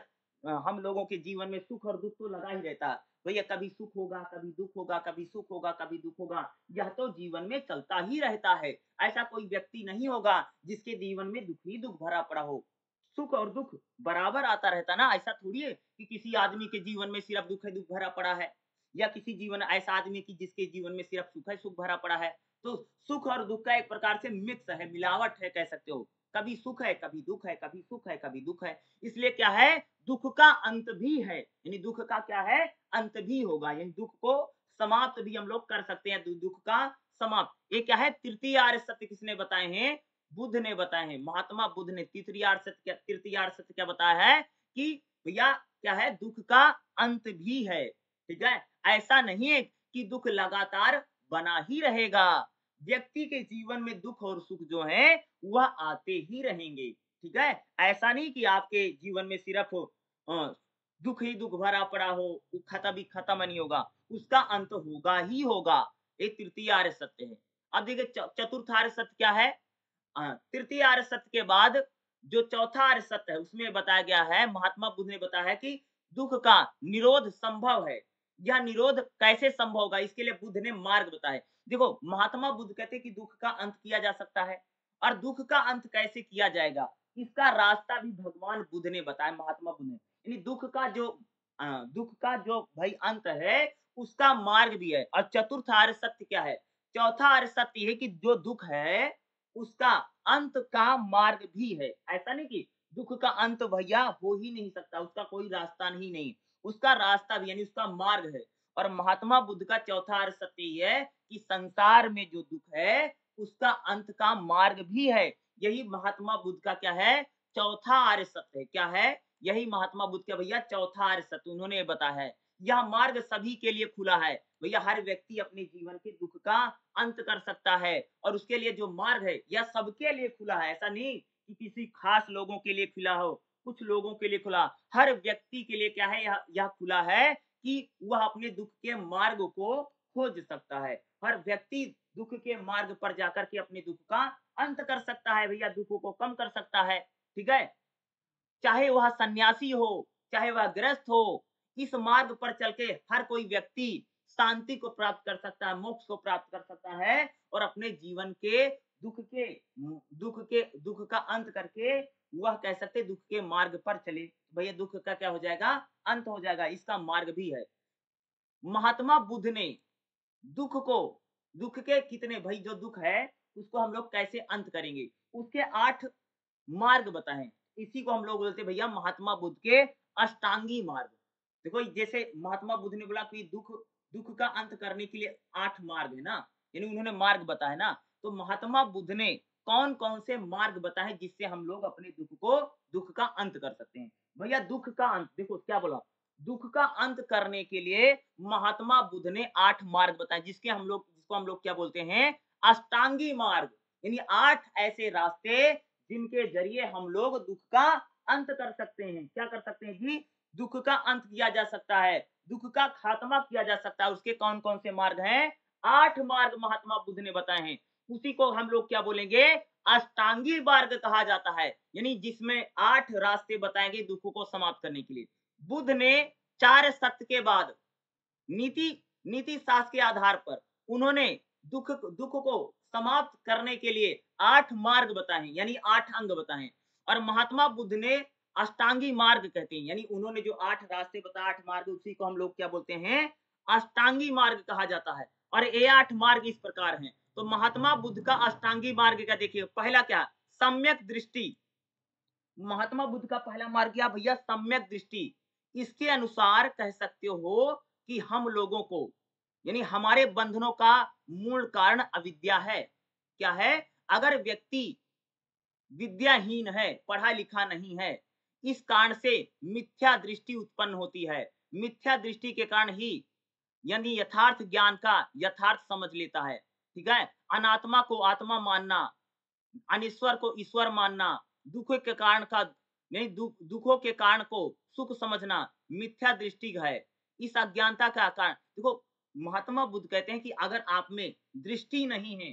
सोचने समझने की यानी अगर आप में सही नजरिया नहीं है तो आप ही दुख का कारण बनेगा जो व्यक्ति अज्ञानी है जिस व्यक्ति को ज्ञान नहीं है वह क्या है उसके दुख का कारण बनेगा ही बनेगा क्योंकि अज्ञानी व्यक्ति जो चीज नहीं है उसको भी मान लेगा ठीक है यानी वो व्यक्ति अनात्मा को आत्मा मान लेगा ठीक है असत्य को सत्य मान लेगा ये क्या होगा हमारे दुख का कारण बनता है जब हम लोग किसी चीज को नहीं जानते हैं तब वह हमारे दुख का कारण बनेगा ही बनेगा यानी अगर आप में दूरदृष्टि नहीं है किसी चीज को देखने का नजरिया आप में नहीं है यानी अगर आप अज्ञानी हैं अविद्या है यानी आप आप आप आपके पास विद्या नहीं है तो आपकी दृष्टि जो रहेगी यानी दृष्टि आपको देखने का सोचने समझने का तौर तरीका है ये क्या है ये दुख का कारण बनेगा ही बनेगा ठीक है अगर व्यक्ति अविद्या है ना समझ है तो भैया वो क्या प्रकार से वह उसके दुख का कारण ही बनेगा उसको कोई भैया कुछ भी बता देगा वही मान लेगा ठीक है दूसरा आर्य सत्य क्या सम्यक संकल्प क्या है देखिएगा सम्यक संकल्प का अर्थ है बुद्ध ने चार आर्य सत्य को जीवन में पालन करने के बताया है व्यवहारिक दृष्टि से बात करें तो तो किसी रोग के लिए वैद्य द्वारा लिखी गई दवाई का नाम जपते रहने से रोग ठीक नहीं होता है योग को दूर करने के लिए दवाई का सेवन करना आवश्यक है इसी प्रकार जर्मनन का रोग ग्रस्त मानव मानव के लिए सांसारिक विषयों का दुख समझ करके उसका त्याग करने के लिए दृढ़ संकल्प आवश्यक जरूरी है यानी महात्मा बुद्ध कहते हैं हम लोगों को भैया व्यक्ति जो दुखी है तो दुख को छोड़ने के लिए हमको संकल्प लेना पड़ेगा ठीक है क्या लेना पड़ेगा जी संकल्प लेना पड़ेगा ठीक है तभी हम यानी हम दुखों को छोड़ने के लिए क्या लेना पड़ेगा संकल्प लेना पड़ेगा जिस प्रकार से जैसे कोई आदमी बीमार है जैसे भैया कोई बीमार है तो डॉक्टर के पास जाएगा तो डॉक्टर उसको दवाई लिखेगा तो दवाइया तो खानी पड़ेगी ना दवाई नहीं खाओगे तो कैसे ठीक हो गए तो उसी प्रकार से संसार में जो दुख है उसको दुख को छोड़ने के लिए संकल्प लेना पड़ेगा तब आप संसार में आपका दुख समाप्त हो सकता है यानी आपको संकल्पशील होना चाहिए यानी आप किसी चीज को ठान लो भैया यानी जैसे भीष्म प्रतिज्ञा नहीं थी प्रतिज्ञा ले ली थी ना तो उसी प्रकार से आपका संकल्प बहुत मजबूत होगा तब जरूर आपका जो दुख होगा वह समाप्त हो सकता है एक दूसरा मार्ग है क्या है हम लोग दृढ़ संकल्प करके क्या कर सकते हैं दुख को समाप्त किया जा सकता है कौन कहता है महात्मा बुद्ध का दूसरा मार्ग है तीसरा मार्ग क्या है सम्यक वाक्य सम्यक संकल्प के बाद सम्यक वाक्य यानी हम लोगों को भैया ऐसी वाणी बोलनी चाहिए ऐसी बातें बोलनी चाहिए जिससे किसी व्यक्ति को बुरा ना लगे और दूसरा असत्य नहीं बोलना चाहिए जो व्यक्ति असत्य बोल रहा है झूठ बोल रहा है वो दुख का कारण बनेगा ही बनेगा यानी हम लोगों को सम्यक वाक्य यानी क्या है हम लोगों को सत्य वचन बोलना चाहिए और जो व्यक्ति सत्य वचन नहीं बोलेगा वह दुख का कारण हमें झूठ बोलना निंदा करना अप्रिय वचन बोलना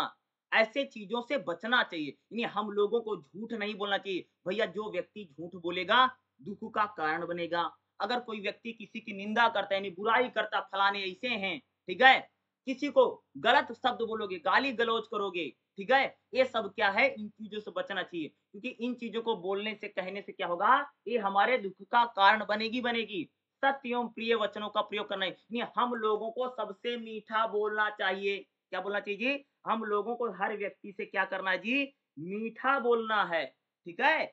क्या करना है हमें सम्यक वाक्य अपनी वाणी पर कंट्रोल करना है अच्छा बोलना है किसी को बुरा नहीं कहना है और जो व्यक्ति झूठ बोलेगा दूसरे को गाली देगा निंदा करेगा ये सारी चीजें हमारे दुख का कारण बनती हैं इसलिए हमें सभी व्यक्तियों से प्रिय वचन बोलने चाहिए अगला सम्यक कामंत यानी निर्माण प्राप्ति के लिए सम्यक वाक्य का अनुसरण करना ही पर्याप्त नहीं है सम्यक वाक्य अर्थात प्रिय और सत्य बोल करके भी बुरे कार्य करके निर्माण का लक्ष्य भटक सकता है इसलिए बुद्ध ने सम्यक कामंत का पालन करने में यानी बुरे कर्मों का त्याग करना चाहिए महात्मा बुद्ध कहते हैं भैया व्यक्ति को जो बुरे कर्म है जो बुरी चीजें हैं उनको छोड़ देना चाहिए अगर व्यक्ति बुरी कर्म को बुरी बातों को नहीं छोड़ेगा तो वह उसके दुख का कारण बनेगा ही बनेगा महात्मा बुद्ध का आठ चौथा मार्ग क्या है यानी सम्यक में कहते हैं कि व्यक्ति को अपने बुरे कर्म को बुरे कामों को छोड़ देना चाहिए और जो व्यक्ति बुरा कर्म करता रहेगा बुरी चीजें करता रहेगा वह उसके लिए भैया क्या होगा दुख का कारण बनेगा बुद्ध के अनुसार हिंसा और अपनी यानी इंद्रियों के भोग के बुरे कर्मों से व्यक्ति को बचना चाहिए ठीक है व्यक्ति को हिंसा नहीं करनी चाहिए व्यक्ति को झूठ नहीं बोलना चाहिए व्यक्ति को अपने इंद्रियों के बस में नहीं रहना चाहिए जो व्यक्ति हिंसा करेगा झूठ बोलेगा और अपनी इंद्रियों के बस में रहेगा वह उसके दुख का कारण बनेगा ही बनेगा अगला क्या है अष्टांगी मार्ग में सम्यक आजीविका यानी हम लोगों को भैया अपनी रोजी रोटी सही तरीके से कमानी चाहिए यानी हम लोगों को अपना रोजी रोटी सही तरीके से कमानी चाहिए जो व्यक्ति धोखे धोखाधड़ी करके रिश्वत लेकर के लूटपाट करके अत्याचार करके यानी गलत तरीके से अपनी आजीविका यानी रोजी रोटी को कमाएगा वह उसके दुख का कारण बनेगा ही बनेगा सम्यक आजीविका में भग, भगवान बुद्ध कहते हैं महात्मा बुद्ध कहते हैं कि जो व्यक्ति धोखा करके रिश्वत लेकर के लूटपाट करके अत्याचार करके दूसरों को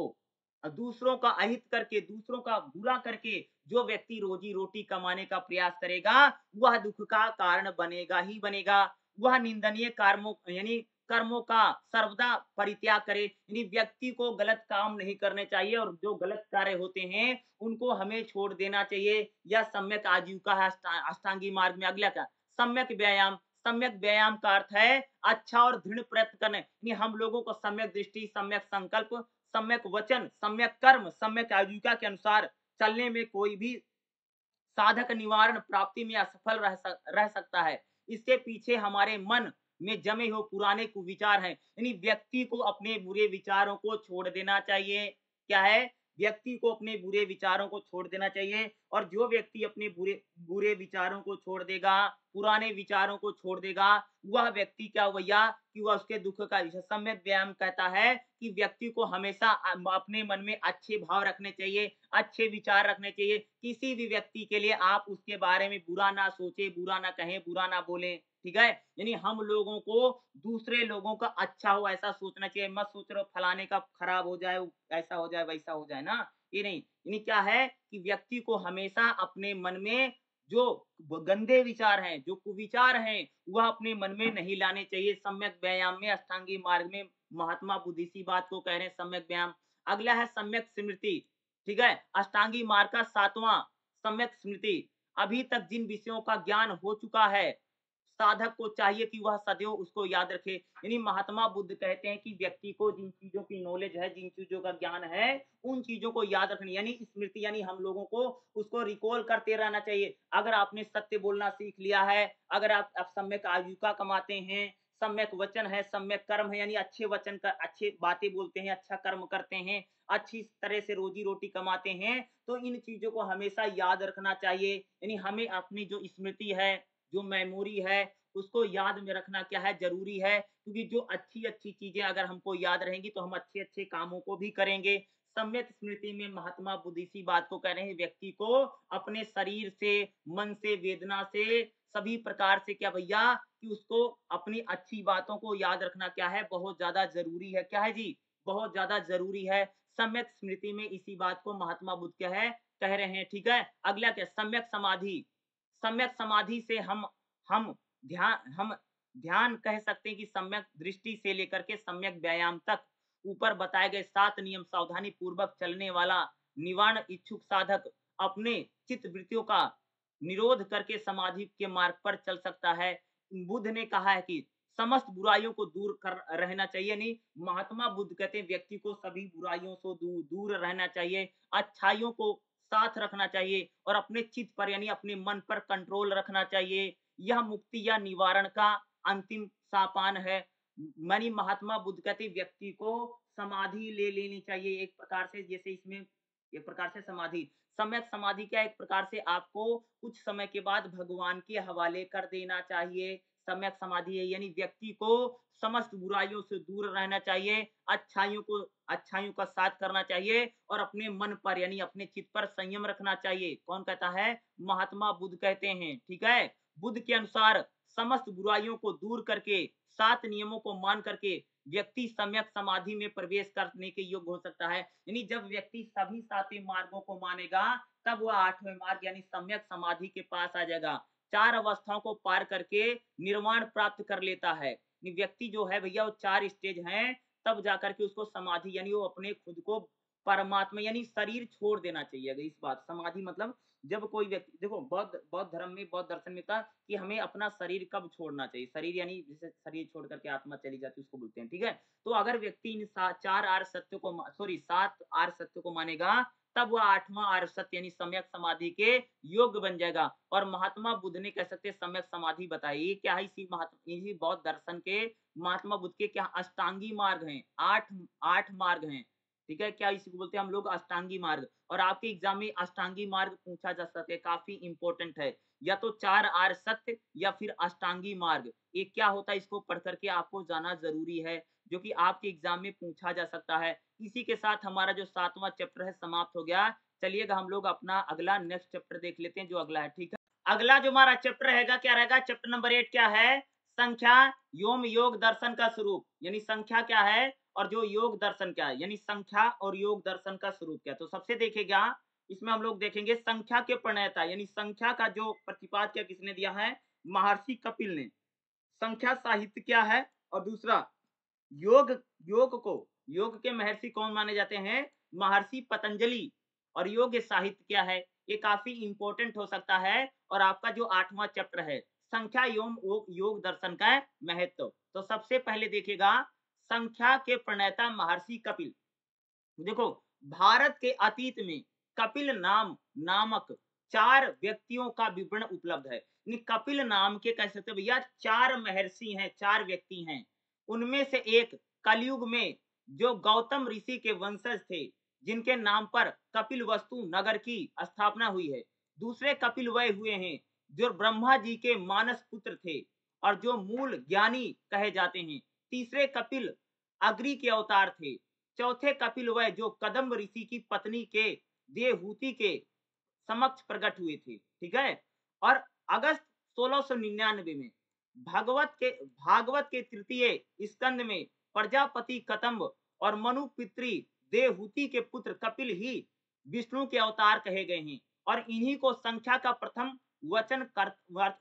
वचनकर्ता माना गया किसको जो महर्षि कपिल हैं उन्हीं को ही माना जाता है कि उन्होंने ही संख्या की शुरुआत की है यानी संख्या यानी जो नंबर यानी संख्या के प्रथम वचनकर्ता कौन है महर्षि कपिल को माना जाता है अरे महर्षि कपिल कौन है कैसती इनको विष्णु का अवतार माना गया है ठीक है और मनुपुत्री देवहूति के पुत्र ही कपिल हैं कौन है देवहूति हैं उन्हीं के पुत्र हैं कपिल और इनको ही क्या हम लोग कहते हैं महर्षि कपिल माना जाता है और इन्होंने ही संख्या यानी जो नंबर नहीं था वन टू थ्री फोर ये जो होता ना उसकी शुरुआत किसने की महर्षि कपिल ने की वस्तुता पौराणिक वर्णन पद्धति में ठीक रूप से समझ विचार किया जाए तो देवहूति और कदम्ब के पुत्र ने ही विष्णु के अवतार ब्रह्मा जी के मानस पुत्र और अग्नि के अवतार थे इन्हें ही संख्या सूत्र का ग्रंथ की रचना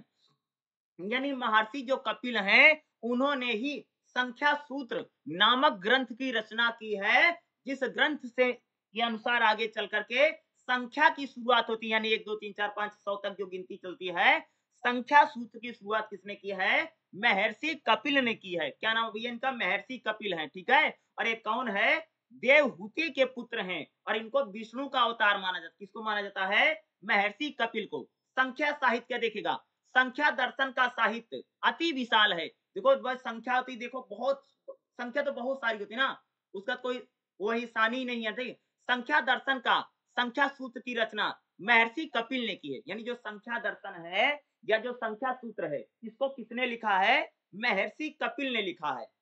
जिसकी कुल छह चैप्टर है छह अध्याय हैं जिसमें पांच सूत्र हैं इनमें संख्या दर्शन के मूल सिद्धांत को विवेचना किया गया इसमें जो संख्या दर्शन का सिद्धांत है उसकी विवेचना की गई है संख्या सूत्र पर अनिरुद्ध ने चौदह और पंद्रवी शताब्दी में अनिरुद्ध वृत्त नाम की व्याख्या लिखी जो संख्या सूत्र की प्राचीनतम व्याख्या है सोलहवीं शताब्दी में विज्ञान भिक्षु ने संख्या सूत्र की व्याख्या की जिसे संख्या वचन भाष की रचना कही जाती है अनुरुद्ध वृत्त ने सत्रहवीं शताब्दी में महादेव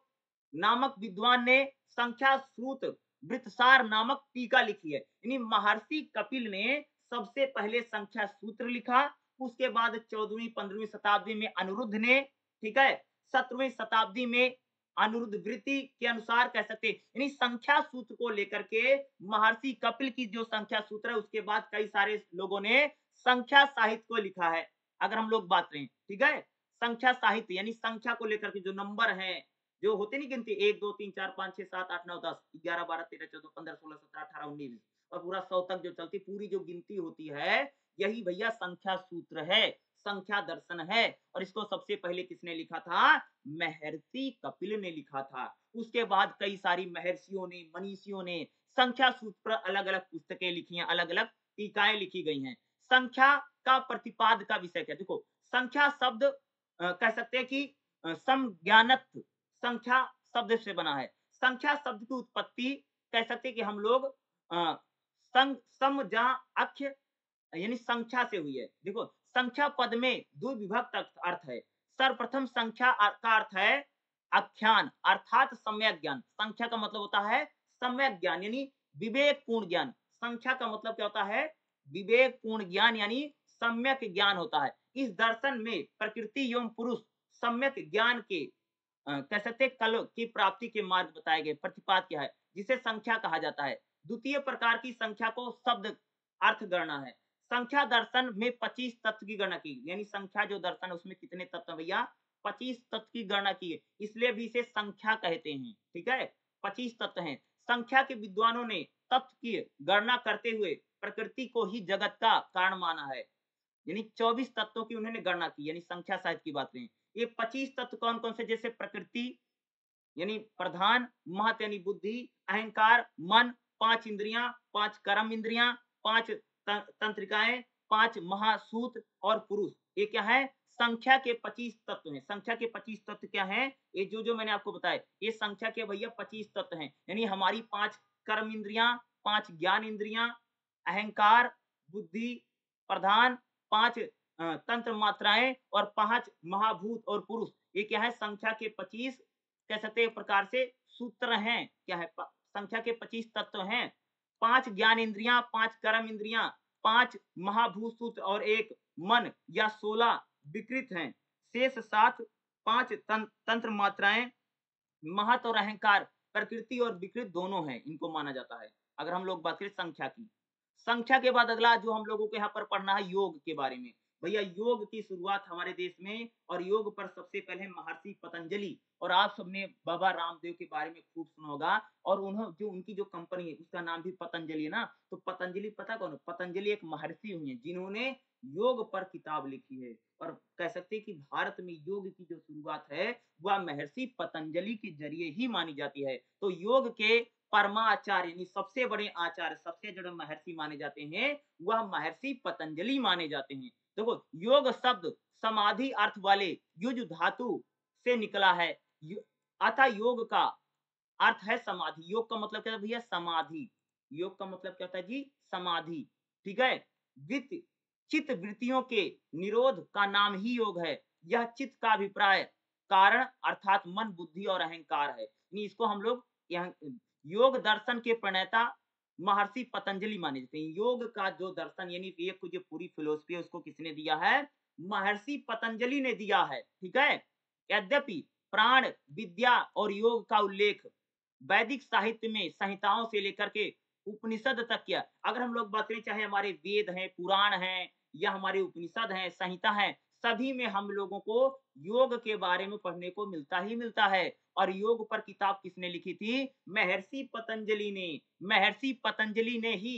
सूत ग्रंथ लिख करके जनता को योग दर्शन के परमाचार्य कहलाने लगे यानी इन्होंने सबसे पहले योग पर अपनी क्या लिखी थी भैया किताब और लोगों को योग के बारे में सबसे पहले किसने बताया है महर्षि पतंजलि ने बताया है यही कारण है कि इस दर्शन को पतंजल दर्शन भी कहा जाता है पतंजलि प्राणित सूत्र ग्रंथ अथवा योग सूत्र भी कहा जाता है योग सूत्र ही इसका मूल ग्रंथ है यानी योग सूत्र किताब का नाम है महर्षि पतंजलि ने कौन सी किताब लिखी है जी योग सूत्र लिखी है और इसी योग सूत्र में कह सकते हैं कि महर्षि पतंजलि ने योग के बारे में किसके बारे में जी योग जो रामदेव बाबा करवाते नहीं योग योगा जिसको आप योग से क्या बन गया जी वो योगा बन गया ठीक है और क्या हम उसको महर योग साहित्य क्या देखेगा पतंजलि योग सूत्र का द, का दर्शन प्रथम और अंतिम मानक ग्रंथ है अंतिम इस अर्थ में इस दर्शन में इसके अतिरिक्त दूसरा कोई ग्रंथ उपलब्ध नहीं है जो इस ग्रंथ के आधार को बना सके योग सूत्र चार पदों में बता यानी जो योग सूत्र है वह चार भागों में बटा है यानी महर्षि पतंजलि ने क्या लिखा है योग सूत्र लिखा है तथा इसमें कुल एक सूत्र हैं जो महर्षि पतंजलि ने योग सूत्र नामक किताब लिखी है उसमें कुल 195 यानी एक सौ पंचानवे सूत्र सूक्त हैं ठीक है योग दर्शन ईश्वर विषयक मत को छोड़ करके संख्या द्वारा स्वीकृत पूरी तत्व मीमांसा अथवा स्वीकार करता है योग पर व्यास विचरित भाष्य है जो भा, यानी व्यास भाष या योग भाष भी कहलाता है व्यास के भाष पर मिश्र ने अत्यंत प्रमाणिक टीका लिखी है यह टीका उनके भाषा में लिखी गई है योग भाष का मर्म समझने के लिए हम लोगों को योग वित्त की रचना की गई है यह भाष का विवेचना भर नहीं करता है यानी योग को लेकर के भी अगर आप देखेंगे कई प्रकार की किताबें कई प्रकार की जो पुस्तकें हैं वह लिखी गई हैं आधुनिक अगर हम प्रेजेंट टाइम की बात करें आज हमारी जो आधुनिक है ठीक है अगर हम आधुनिक की बात करें तो यहाँ पर आधुनिक प्रसिद्ध संख्या योग चार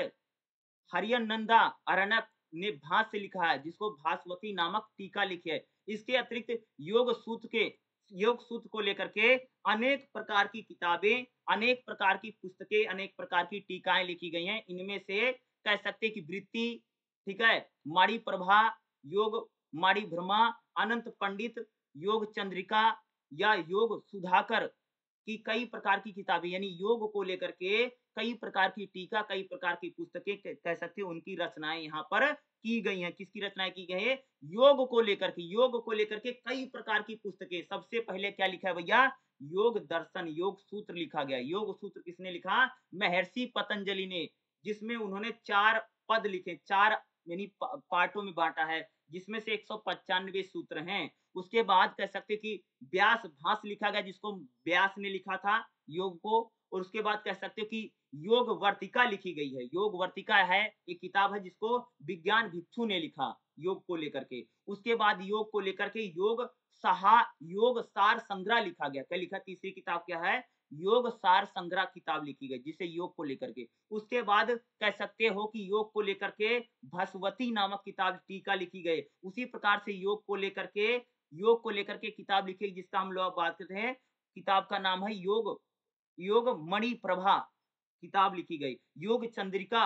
योग सुधाकर यानी ये सारी किताबें जो हैं योग पर ही सारी लिखी गई योग और जब महर्षि पतंजलि ने योग सूत्र लिखा उसके बाद उनके बाद कई सारी जो किताबें थी जो कई सारी पुस्तकें थी वह योग पर लिखी गई हैं तो योग या संख्या को लेकर के आपके एग्जाम में क्वेश्चन आ सकता है और आपके एग्जाम में क्वेश्चन पूछे जा सकते हैं इसी के साथ हमारा जो चैप्टर नंबर एट है चैप्टर नंबर एट भी हमारा समाप्त हो गया चलिए हम लोग अगला अगला अपना चैप्टर नंबर नाइन को भी देख लेते हैं ठीक है ओके अगला जो हमारा चैप्टर रहेगा क्या है चैप्टर नंबर नाइन क्या है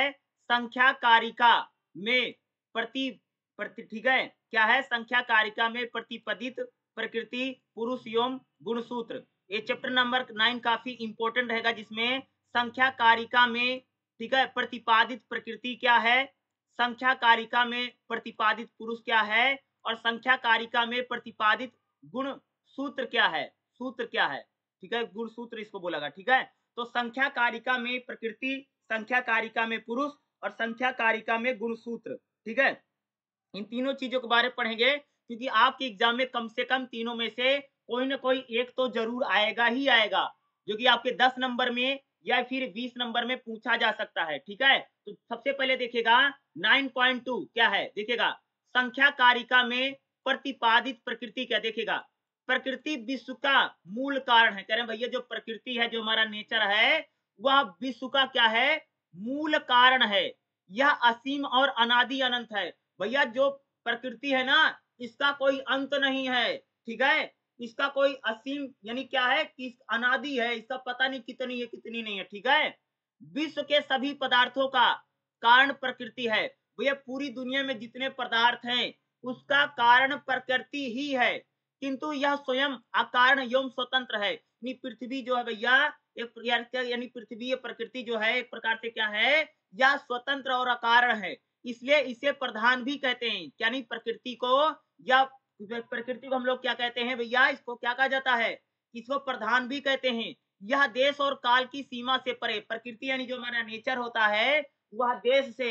काल से यानी समय से भी क्या है परे है यानी आगे है यह नित्य और अचेत है यानी जो प्रकृति है तो भैया नित्य और अचेत होती है ठीक है इसका ज्ञान हमें प्रत्यक्ष द्वारा नहीं होता है यानी प्रकृति का जो ज्ञान है उसको हम प्रत्यक्ष रूप से नहीं प्राप्त कर सकते हैं इसके गुणों के आधार पर अनुमान की सहायता से ज्ञान प्राप्त हो सकता है यानी प्रकृति का हम सिर्फ अनुमान लगा करके ही ज्ञान प्राप्त कर सकते हैं यह वास्तविक है क्योंकि इसके विषय में सोचने और असंगति नहीं पाई जाती यानी जो प्रकृति है यह वास्तविक है भैया सच्चाई है ठीक है बुद्धि को लेकर के पृथ्वी तक व्यक्त कहे जाने वाले समस्त तत्व उत्पन्न होने वाले ठीक है विनयशील एक देशीय अर्थात व्याप्त श्रमण करने वाले अर्थात एक से दूसरे स्थान पर गमन करने वाले अनेक अपने कर्मों में अनिश्चित समय में आने वाली इन्हीं कारणों में लीन होने के कारण ये परतंत्र है ठीक है जिसे प्रकृति कहते हैं इसके विपरीत यह व्यापक और व्यापक होने के कारण ठीक है सहित एक निष्कर्ष अथवा क्या है यानी जो प्रकृति है उसका कोई भैया अंत है वह अथा है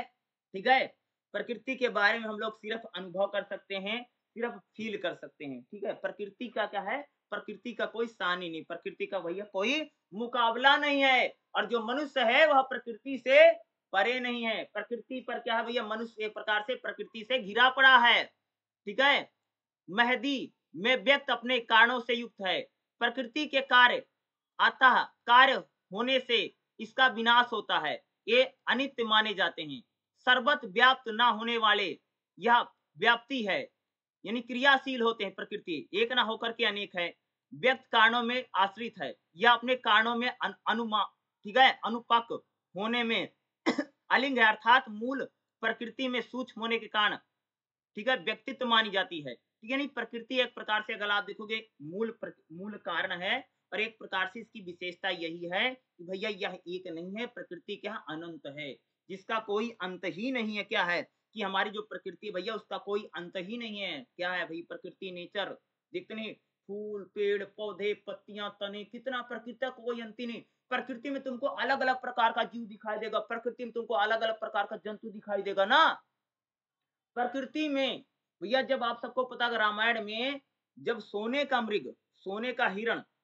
जब सीता जी देखती हैं तो भगवान राम से कहते हैं कि ये प्रभु वो सोने का मृग दिखाई दे रहा क्या यह सत्य है तो भगवान राम इस बात को कहते हैं प्रकृति को लेकर के कहते हैं कि प्रकृति में कुछ भी संभव है यानी प्रकृति में क्या है हर चीज संभव है सोने का मृग भी हो सकता है कौन कहता है भगवान राम इस बात को कहते हैं यानी मेरा कहने का मतलब है कि प्रकृति क्या भैया उसका तो ना तो आदि है ना तो उसका कोई अंत है प्रकृति में कुछ भी संभव है प्रकृति इतनी ज्यादा खूबसूरत है कि आप उसके बारे में विचार भी नहीं कर सकते हैं ठीक है वह उसमें आप जिन चीजों के बारे में कभी सोचा भी नहीं होगा कि ये भी चीज हो सकती है प्रकृति में वह चीज भी शायद हो सकती है ठीक है मनुष्य जिन चीजों के बारे में सोच भी नहीं सकता प्रकृति में वह भी चीजें क्या है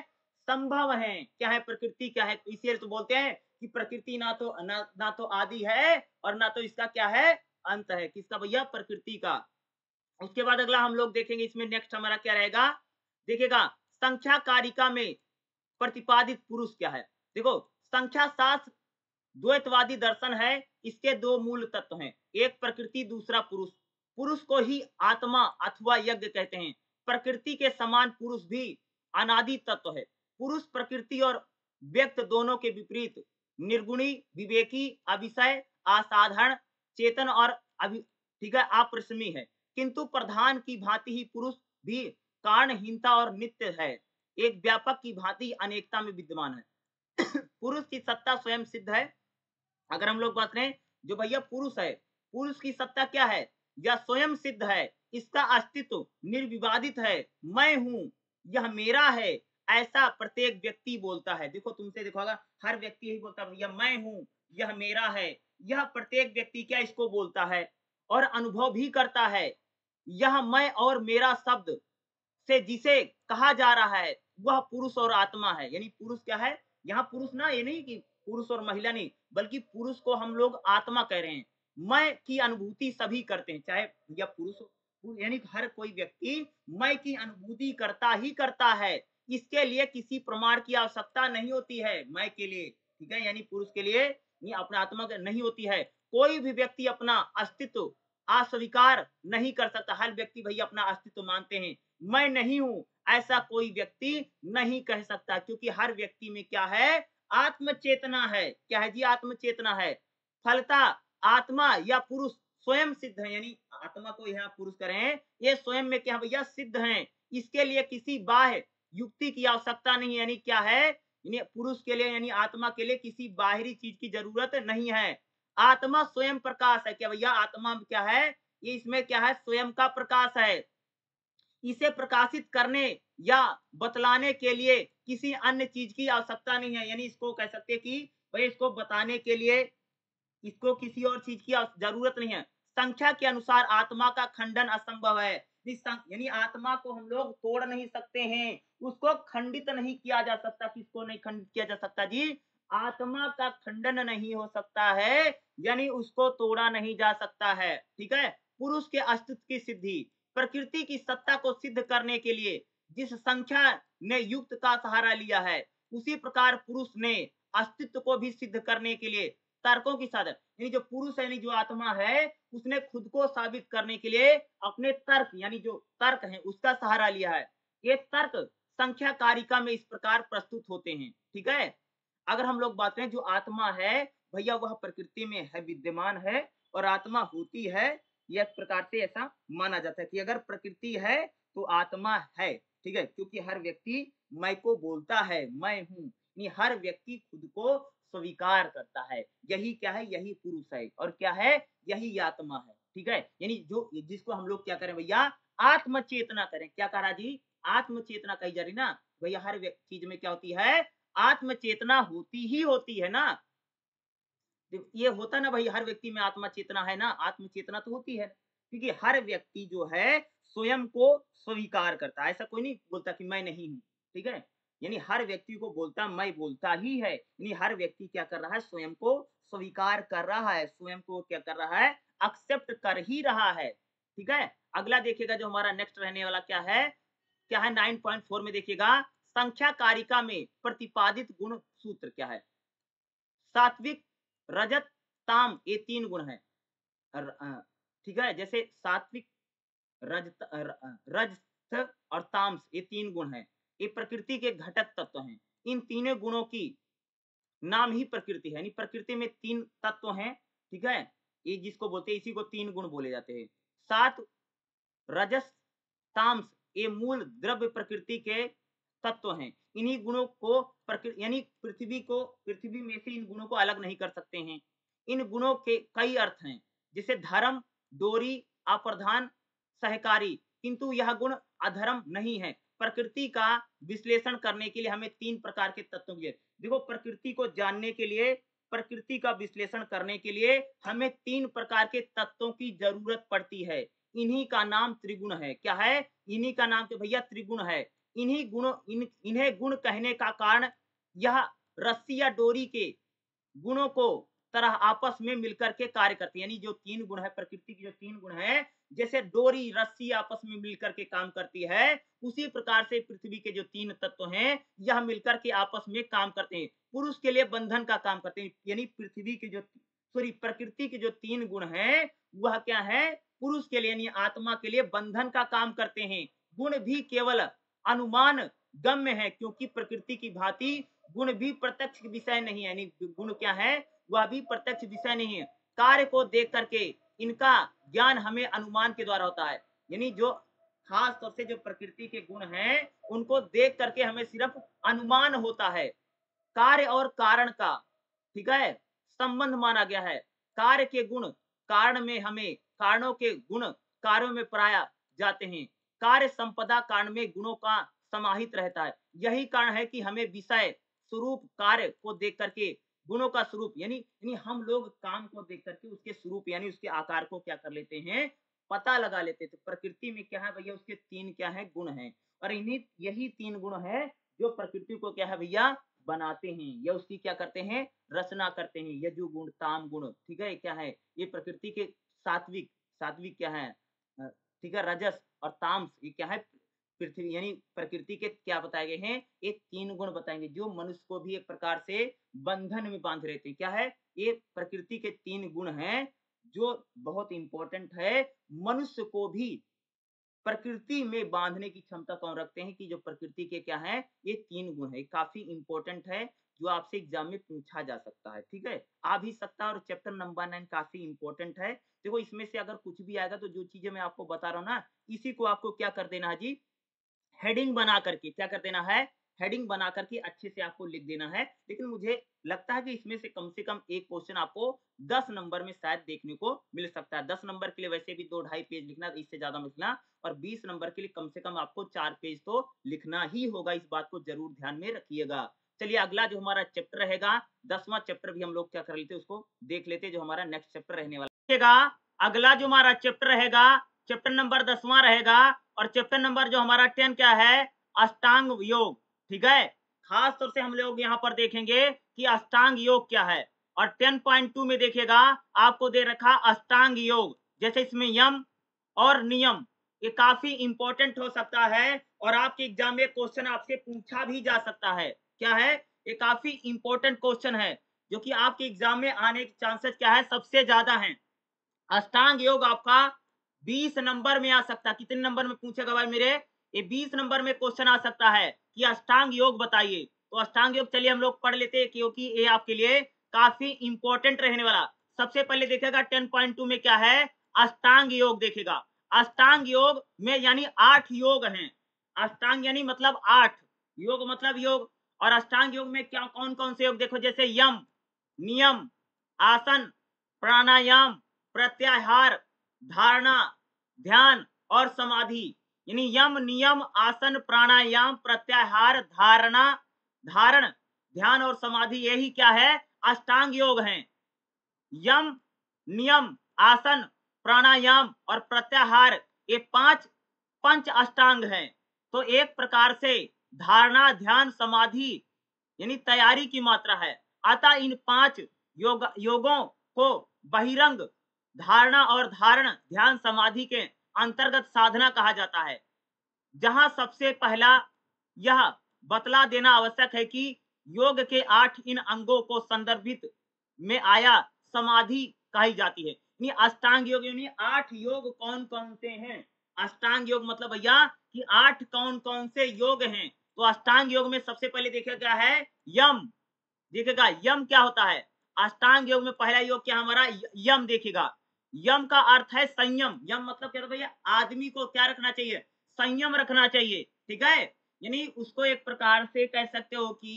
व्याकुल नहीं होना चाहिए हर एक चीज पर संयम रखना चाहिए धीरज इसको बोलते भाई धीरज रखो धीरज धारण करो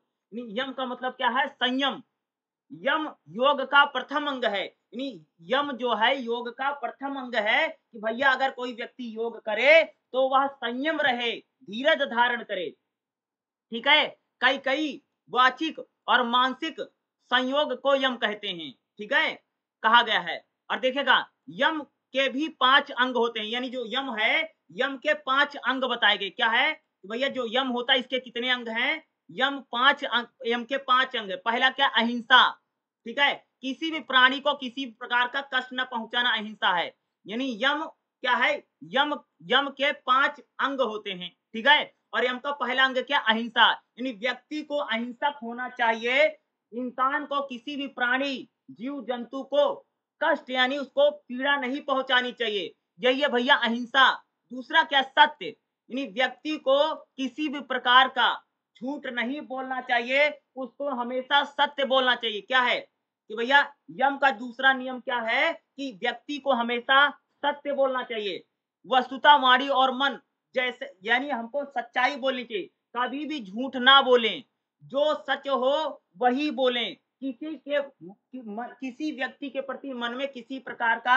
द्वैत भावना हम लोगों को नहीं रखनी चाहिए ठीक है यानी दूसरा सत्य है तीसरा ठीक है अस्तेत देखिएगा दूसरों की वस्तु का अपहरण ना करना ही उसकी इच्छा ना करना ही अस्ते है अस्ते तीसरा नियम क्या अस्ते अस्ते मतलब तब या किसी का भी चीज नहीं लेनी चाहिए उसकी आज्ञा के बिना दूसरों की चीजों को नहीं लेना चाहिए दूसरों की चीजों को हमें नहीं लेना चाहिए छल पूर्वक यानी किसी से छल करके किसी से छीना झपटी करके किसी व्यक्ति की किसी दूसरे के पास कोई सामान है भैया तो उसका छीन नहीं लेना चाहिए और यानी यम का चौथा नियम क्या ब्रह्मचर्य व्यक्ति को सभी इंद्रियों को एक प्रकार से संयम करके क्या करना चाहिए ब्रह्मचर्य का पालन करना चाहिए व्यक्ति को मन वाणी और शरीर में होने वाले सब प्रकार के मैथुनों पर अवस्था में सदा त्याग करके सब प्रकार के वीर से रक्षा करना ही ब्रह्मचर्य है क्या है वीर की रक्षा करना ही क्या भैया ब्रह्मचर्य है और व्यक्ति को कम से कम 25 वर्ष तक क्या है ब्रह्मचर्य का क्या करना चाहिए पालन करना चाहिए क्या करना चाहिए ब्रह्मचर का पालन करना चाहिए कब तक करना चाहिए पच्चीस वर्ष तक कितना कब तक करना पच्चीस वर्ष तक बताया और यम यम का है चौथा नियम है कि ब्रह्मचर्य का पालन करना चाहिए और यम का पांचवा नियम क्या है अपरिहार ठीक है अपरिहार ग्रह क्या है स्वार्थ के लिए ममता पूर्वक धन संपत्ति भोग सामग्री का संचय नहीं करना चाहिए यानी हम लोगों को बिना जरूरत के चीजों को इकट्ठा नहीं करना चाहिए जो भी चीजें हमारी जरूरत की हैं हम लोगों को वही चीज रखनी चाहिए अनावश्यक रूप से हमें धन पैसा किसी प्रकार की चीजों को इकट्ठा करने की कोई भी जरूरत नहीं है भैया जो जीवन में जरूरी है वही चीज हम लोगों को इकट्ठा करनी चाहिए ठीक है और फालतू की चीजें फालतू का कुछ भी ना हम लोगों को नहीं रखना चाहिए ये यम क्या है पांच अंग हैं ये क्या बताए गए हैं यम के क्या है भैया ये पांच अंग हैं ठीक है आप देखिएगा अगला हमारा क्या नियम क्या है देखिएगा नियम योग का दूसरा अंग है यानी नियम क्या होता है योग का दूसरा अंग है इसके अंतर्गत बताया गया है क्या क्या क्या करें क्या करें नियम का सामान्य अर्थ है सदा नियम का मतलब क्या भैया जो योग के नियम कानून है उनका हमको पालन करना चाहिए ठीक है यानी हमें हमेशा डिसिप्लिन में रहना चाहिए जो नियम जो कानून बनाए गए हैं उन नियमों और कानूनों को हम लोगों को क्या करना चाहिए भैया मानना चाहिए कि जो नियम बनाए गए हैं जो कानून गए उन नियमों और कानूनों का हम लोगों को क्या करना है पालन करना है क्या करना है जी हम लोगों को उन नियमों का कानूनों का क्या करना चाहिए पालन करना चाहिए उनको हम लोगों को क्या है मानना चाहिए ठीक है क्या है जो भी नियम कानून है उन सभी समस्त जो नियम कानून बनाए गए हैं उन समस्त नियमों को कानूनों को हम लोगों को मानना चाहिए इसके भी पांच अंग है यानी नियम के भी पांच अंग है नियम के पांच अंग कौन कौन देखेगा पहला है सोच सोच यानी बाय और अभ्यंतर शुद्धति यानी व्यक्ति को अपने शरीर को साफ रखना चाहिए अंदर से भी और बाहर से भी ठीक है व्यक्ति को रोज स्नान करना चाहिए पवित्र भोजन करना चाहिए और अपने शरीर की सफाई करनी चाहिए क्या है नियम है पांच नियम में क्या है पहला भैया नियम के पांच कौन कौन से पहला है सोच दूसरा है संतोष जितना साधन से शरीर धारण किया जा सकता है उतना ही अधिक ग्रहण करें व्यक्ति को जितनी चीजों की जरूरत है जितनी उसको भूख है उतना ही व्यक्ति को खाना चाहिए अनावश्यक पदार्थों को नहीं खाना चाहिए जरूरत से ज्यादा खाना खाने की कोई जरूरत नहीं है जितना शरीर को जरूरत है जितना शरीर खाना मांगता है उतना ही हम लोगों को खाना खाना चाहिए ठीक है ये नियम का दूसरा है तीसरा अंग क्या है तप यानी हम लोगों को भूख प्यास सर्दी गर्मी आदि द्वंद्वों को सहन करना चाहिए कठिन व्रत का पालन करना ही तप है यानी व्यक्ति को धूप हो गर्मी हो भूख हो प्यास हो इन सबको सह करके हम लोगों को क्या करना चाहिए कठिन व्रतों का पालन करना चाहिए ठीक है चौथा क्या देखिएगा स्वाध्याय ठीक है मोक्ष के लिए उपयोगी यानी हम लोगों को जो शास्त्र हैं जो गीता है ठीक है या जो उपनिषद हैं जो वेद हैं जो पुराण हैं उन लोगों को हमको पढ़ना चाहिए ठीक है हम लोगों को जो बड़े बड़े जो वेद है पुराण है गीता है उपनिषद है उन लोगों को पढ़ना क्या है नियम का चौथा पाठ है नियम क्या है भाई जो भी वेद है जो पुराण है उन लोगों को हम लोगों को क्या करना चाहिए पढ़ना चाहिए ठीक है और नियम का पांचवा अंग क्या है ईश्वर प्राणी धान क्या है देखो फल की कामना नहीं करना चाहिए पांचवा नियम क्या बताएगा भैया कि हम लोगों को भाई अच्छे से कर्म करो तो फल की इच्छा नहीं करना चाहिए बिना फल की इच्छा किए व्यक्ति को अच्छे कर्म करने चाहिए भाई फल की इच्छा मत करो बिना इच्छा के आपको क्या करना चाहिए भाई इच्छा मत रखो सिर्फ व्यस्त कर्म करो और इस जो फल है वह ईश्वर आपको दे ही दे ही देगा ही देगा ऐसा नहीं कि आपको फल नहीं मिलेगा बिना फल की इच्छा किए बिना ही आपको अच्छे कर्म करने चाहिए ये पांच नियम है क्या है जी ये पांच नियम है अगला आसन क्या देखे महर्षि पतंजलि ने परिभाषित करते हुए आसन बताए हैं यानी हम लोगों को सुबह उठ करके आसन प्राणायाम योग जो है योग है वो सारे करना चाहिए आसन क्या है जो योग प्राणायाम है जो आजकल सुबह उठ करके लोग एक्सरसाइज करते हैं उसी को यहाँ पर आसन बताया गया है ठीक है और आसन किसने बताया है भैया महर्षि पतंजलि ने बताया है किसने बताया जी महर्षि पतंजलि ने ठीक है वो बताते कि हम लोगों को पद्मासन भद्रासन ठीक है या ता, ताड़ासन इस प्रकार के हम लोगों को आसन करना चाहिए आसन मतलब समझते हो जो योग करते हैं ठीक है उसी में खड़े होकर के जब हाथ ऊपर करो पैर नीचे करो इधर करो उधर करो जो पीटी नहीं होती उसी को हम लोग यहाँ पर आसन बोलते हैं अगला क्या प्राणायाम ठीक है प्राणायाम देखिएगा हम लोगों को क्या करना चाहिए भैया प्राणायाम करना चाहिए अर्थात प्राणायाम योग का चौथा नियम है प्राण यानी श्वास यानी हम लोगों को अपने सांस पर नियंत्रण करना चाहिए प्राणायाम सुबह उठ करके भाई सांस खींचो नीचे छोड़ो ऊपर छोड़ो क्या है यही है प्राणायाम यानी हम लोगों को अपनी जैसे वो करते कपाल भाती वही प्राणायाम है हम लोगों को प्राणायाम यानी अपने सांसों पर नियंत्रण रखना ही क्या है प्राणायाम है जैसे आपने बैठे आपने सांस ली फिर सांस को रोक दो और फिर अपनी सांस को धीरे धीरे धीरे धीरे छोड़ दो जो रामदेव करवाते नहीं जैसे अनुलोम विलोम जो होता है भैया सांस को ऊपर खींचो फिर छोड़ो फिर सांस को छोड़ो फिर खींचो यही क्या यानी अपने सांस पर नियंत्रण रखना ही क्या प्राणायाम है यानी हमें सुबह उठ करके प्राणायाम करना चाहिए यानी ये योग साधना हम लोगों को करनी यही क्या हमारा प्राणायाम है अगला क्या प्रत्याहार क्या भैया प्रत्याहार यानी हमें विषय से संबंधित रहित तो, इंद्रियों के चित्त को रूप में होना चाहिए यानी हम लोगों को इंद्रियों के कंट्रोल में नहीं इंद्रियों का व्यापार तब होता है जब चित पर व्यथत होता प्राणायाम के तहत अवय यानी व्यक्ति को अपने इंद्रियों पर कंट्रोल रखना चाहिए यही प्रत्याहार है ठीक है प्रत्याहार विच्छेद सभ्य अर्थ है प्रति प्रतिकूल आहार वृत्ति हम लोगों को अपनी इंद्रियों से हट करके यानी इंद्रियों को कब्जे में हम लोगों को नहीं रखना चाहिए ठीक है यानी जो हमारी पांच इंद्रियां हैं ठीक है उनके कब्जे में नहीं रहने यानी क्या है एक प्रत्याहार क्या बताया गया नियम बताया प्रत्याहार अगला क्या अगला देखिए क्या है धारणा देखिएगा धारणा क्या है किसी एक देश के चित्त को एगा कर यानी अपने मन को एक जगह पर लगाना चाहिए धारणा क्या है कि व्यक्ति को अपना पूरा मन अपना पूरा ध्यान किसी एक चीज पर लगाना ही क्या है धारणा है ठीक है कहने का आशा यह कि चित्त को नाभि चक्र को हृदय कमल को मस्तिष्क को प्रकाश पुंज को नासिका को जिहवा के अग्रभाग आदि स्थानों की प्रतिमा आदि बाय विषय स्थित होकर के दृढ़ होकर के बांधना ही धारणा है धारणा योग की असली कुंजी क्या भैया जो धारणा क्या है धारणा ही क्या बताई गई योग की किसकी जी योग की क्या है असली कुंजी बताई गई अष्टांग योग यानी आठ योग है धारणा यानी किसी चीज को धारण करना धारणा मीन क्या है जब हम किसी चीज को क्या करते हैं भैया धारण करते हैं वही क्या है धारणा अगला देखिए ध्यान ध्यान क्या है जैसे कोई व्यक्ति जैसे योग करता तो आंख बंद करके जब वह किसी किसी चीज का क्या करता है ध्यान करता है उसी को हम लोग क्या बोलते हैं धार ध्यान ठीक है जैसे देखा होगा ना टीवी मूवी में जो ऋषि मुनि होते हैं ऐसे बैठ जाते हैं और आंख बंद कर लेते हैं और अपना किसी चीज पर ध्यान लगाते हैं वही हमारा जिसको हम लोग इंग्लिश में मेडिटेशन कहते हैं क्या कहते हैं जी इसी को हम लोग क्या कहते हैं मेडिटेशन कहा जाता है ध्यान का अर्थ है ध्यय विषय को निरंतर मनन करना अर्थात उसी विषय को लेकर के विचार करना कहने का आशय यह है कि नाभि चक्र आदि स्थानों में ज्ञान वृत्त होकर के ध्यायकार चित्तवृत्त एकाग्रता को ध्यान कहा गया यानी व्यक्ति को अपना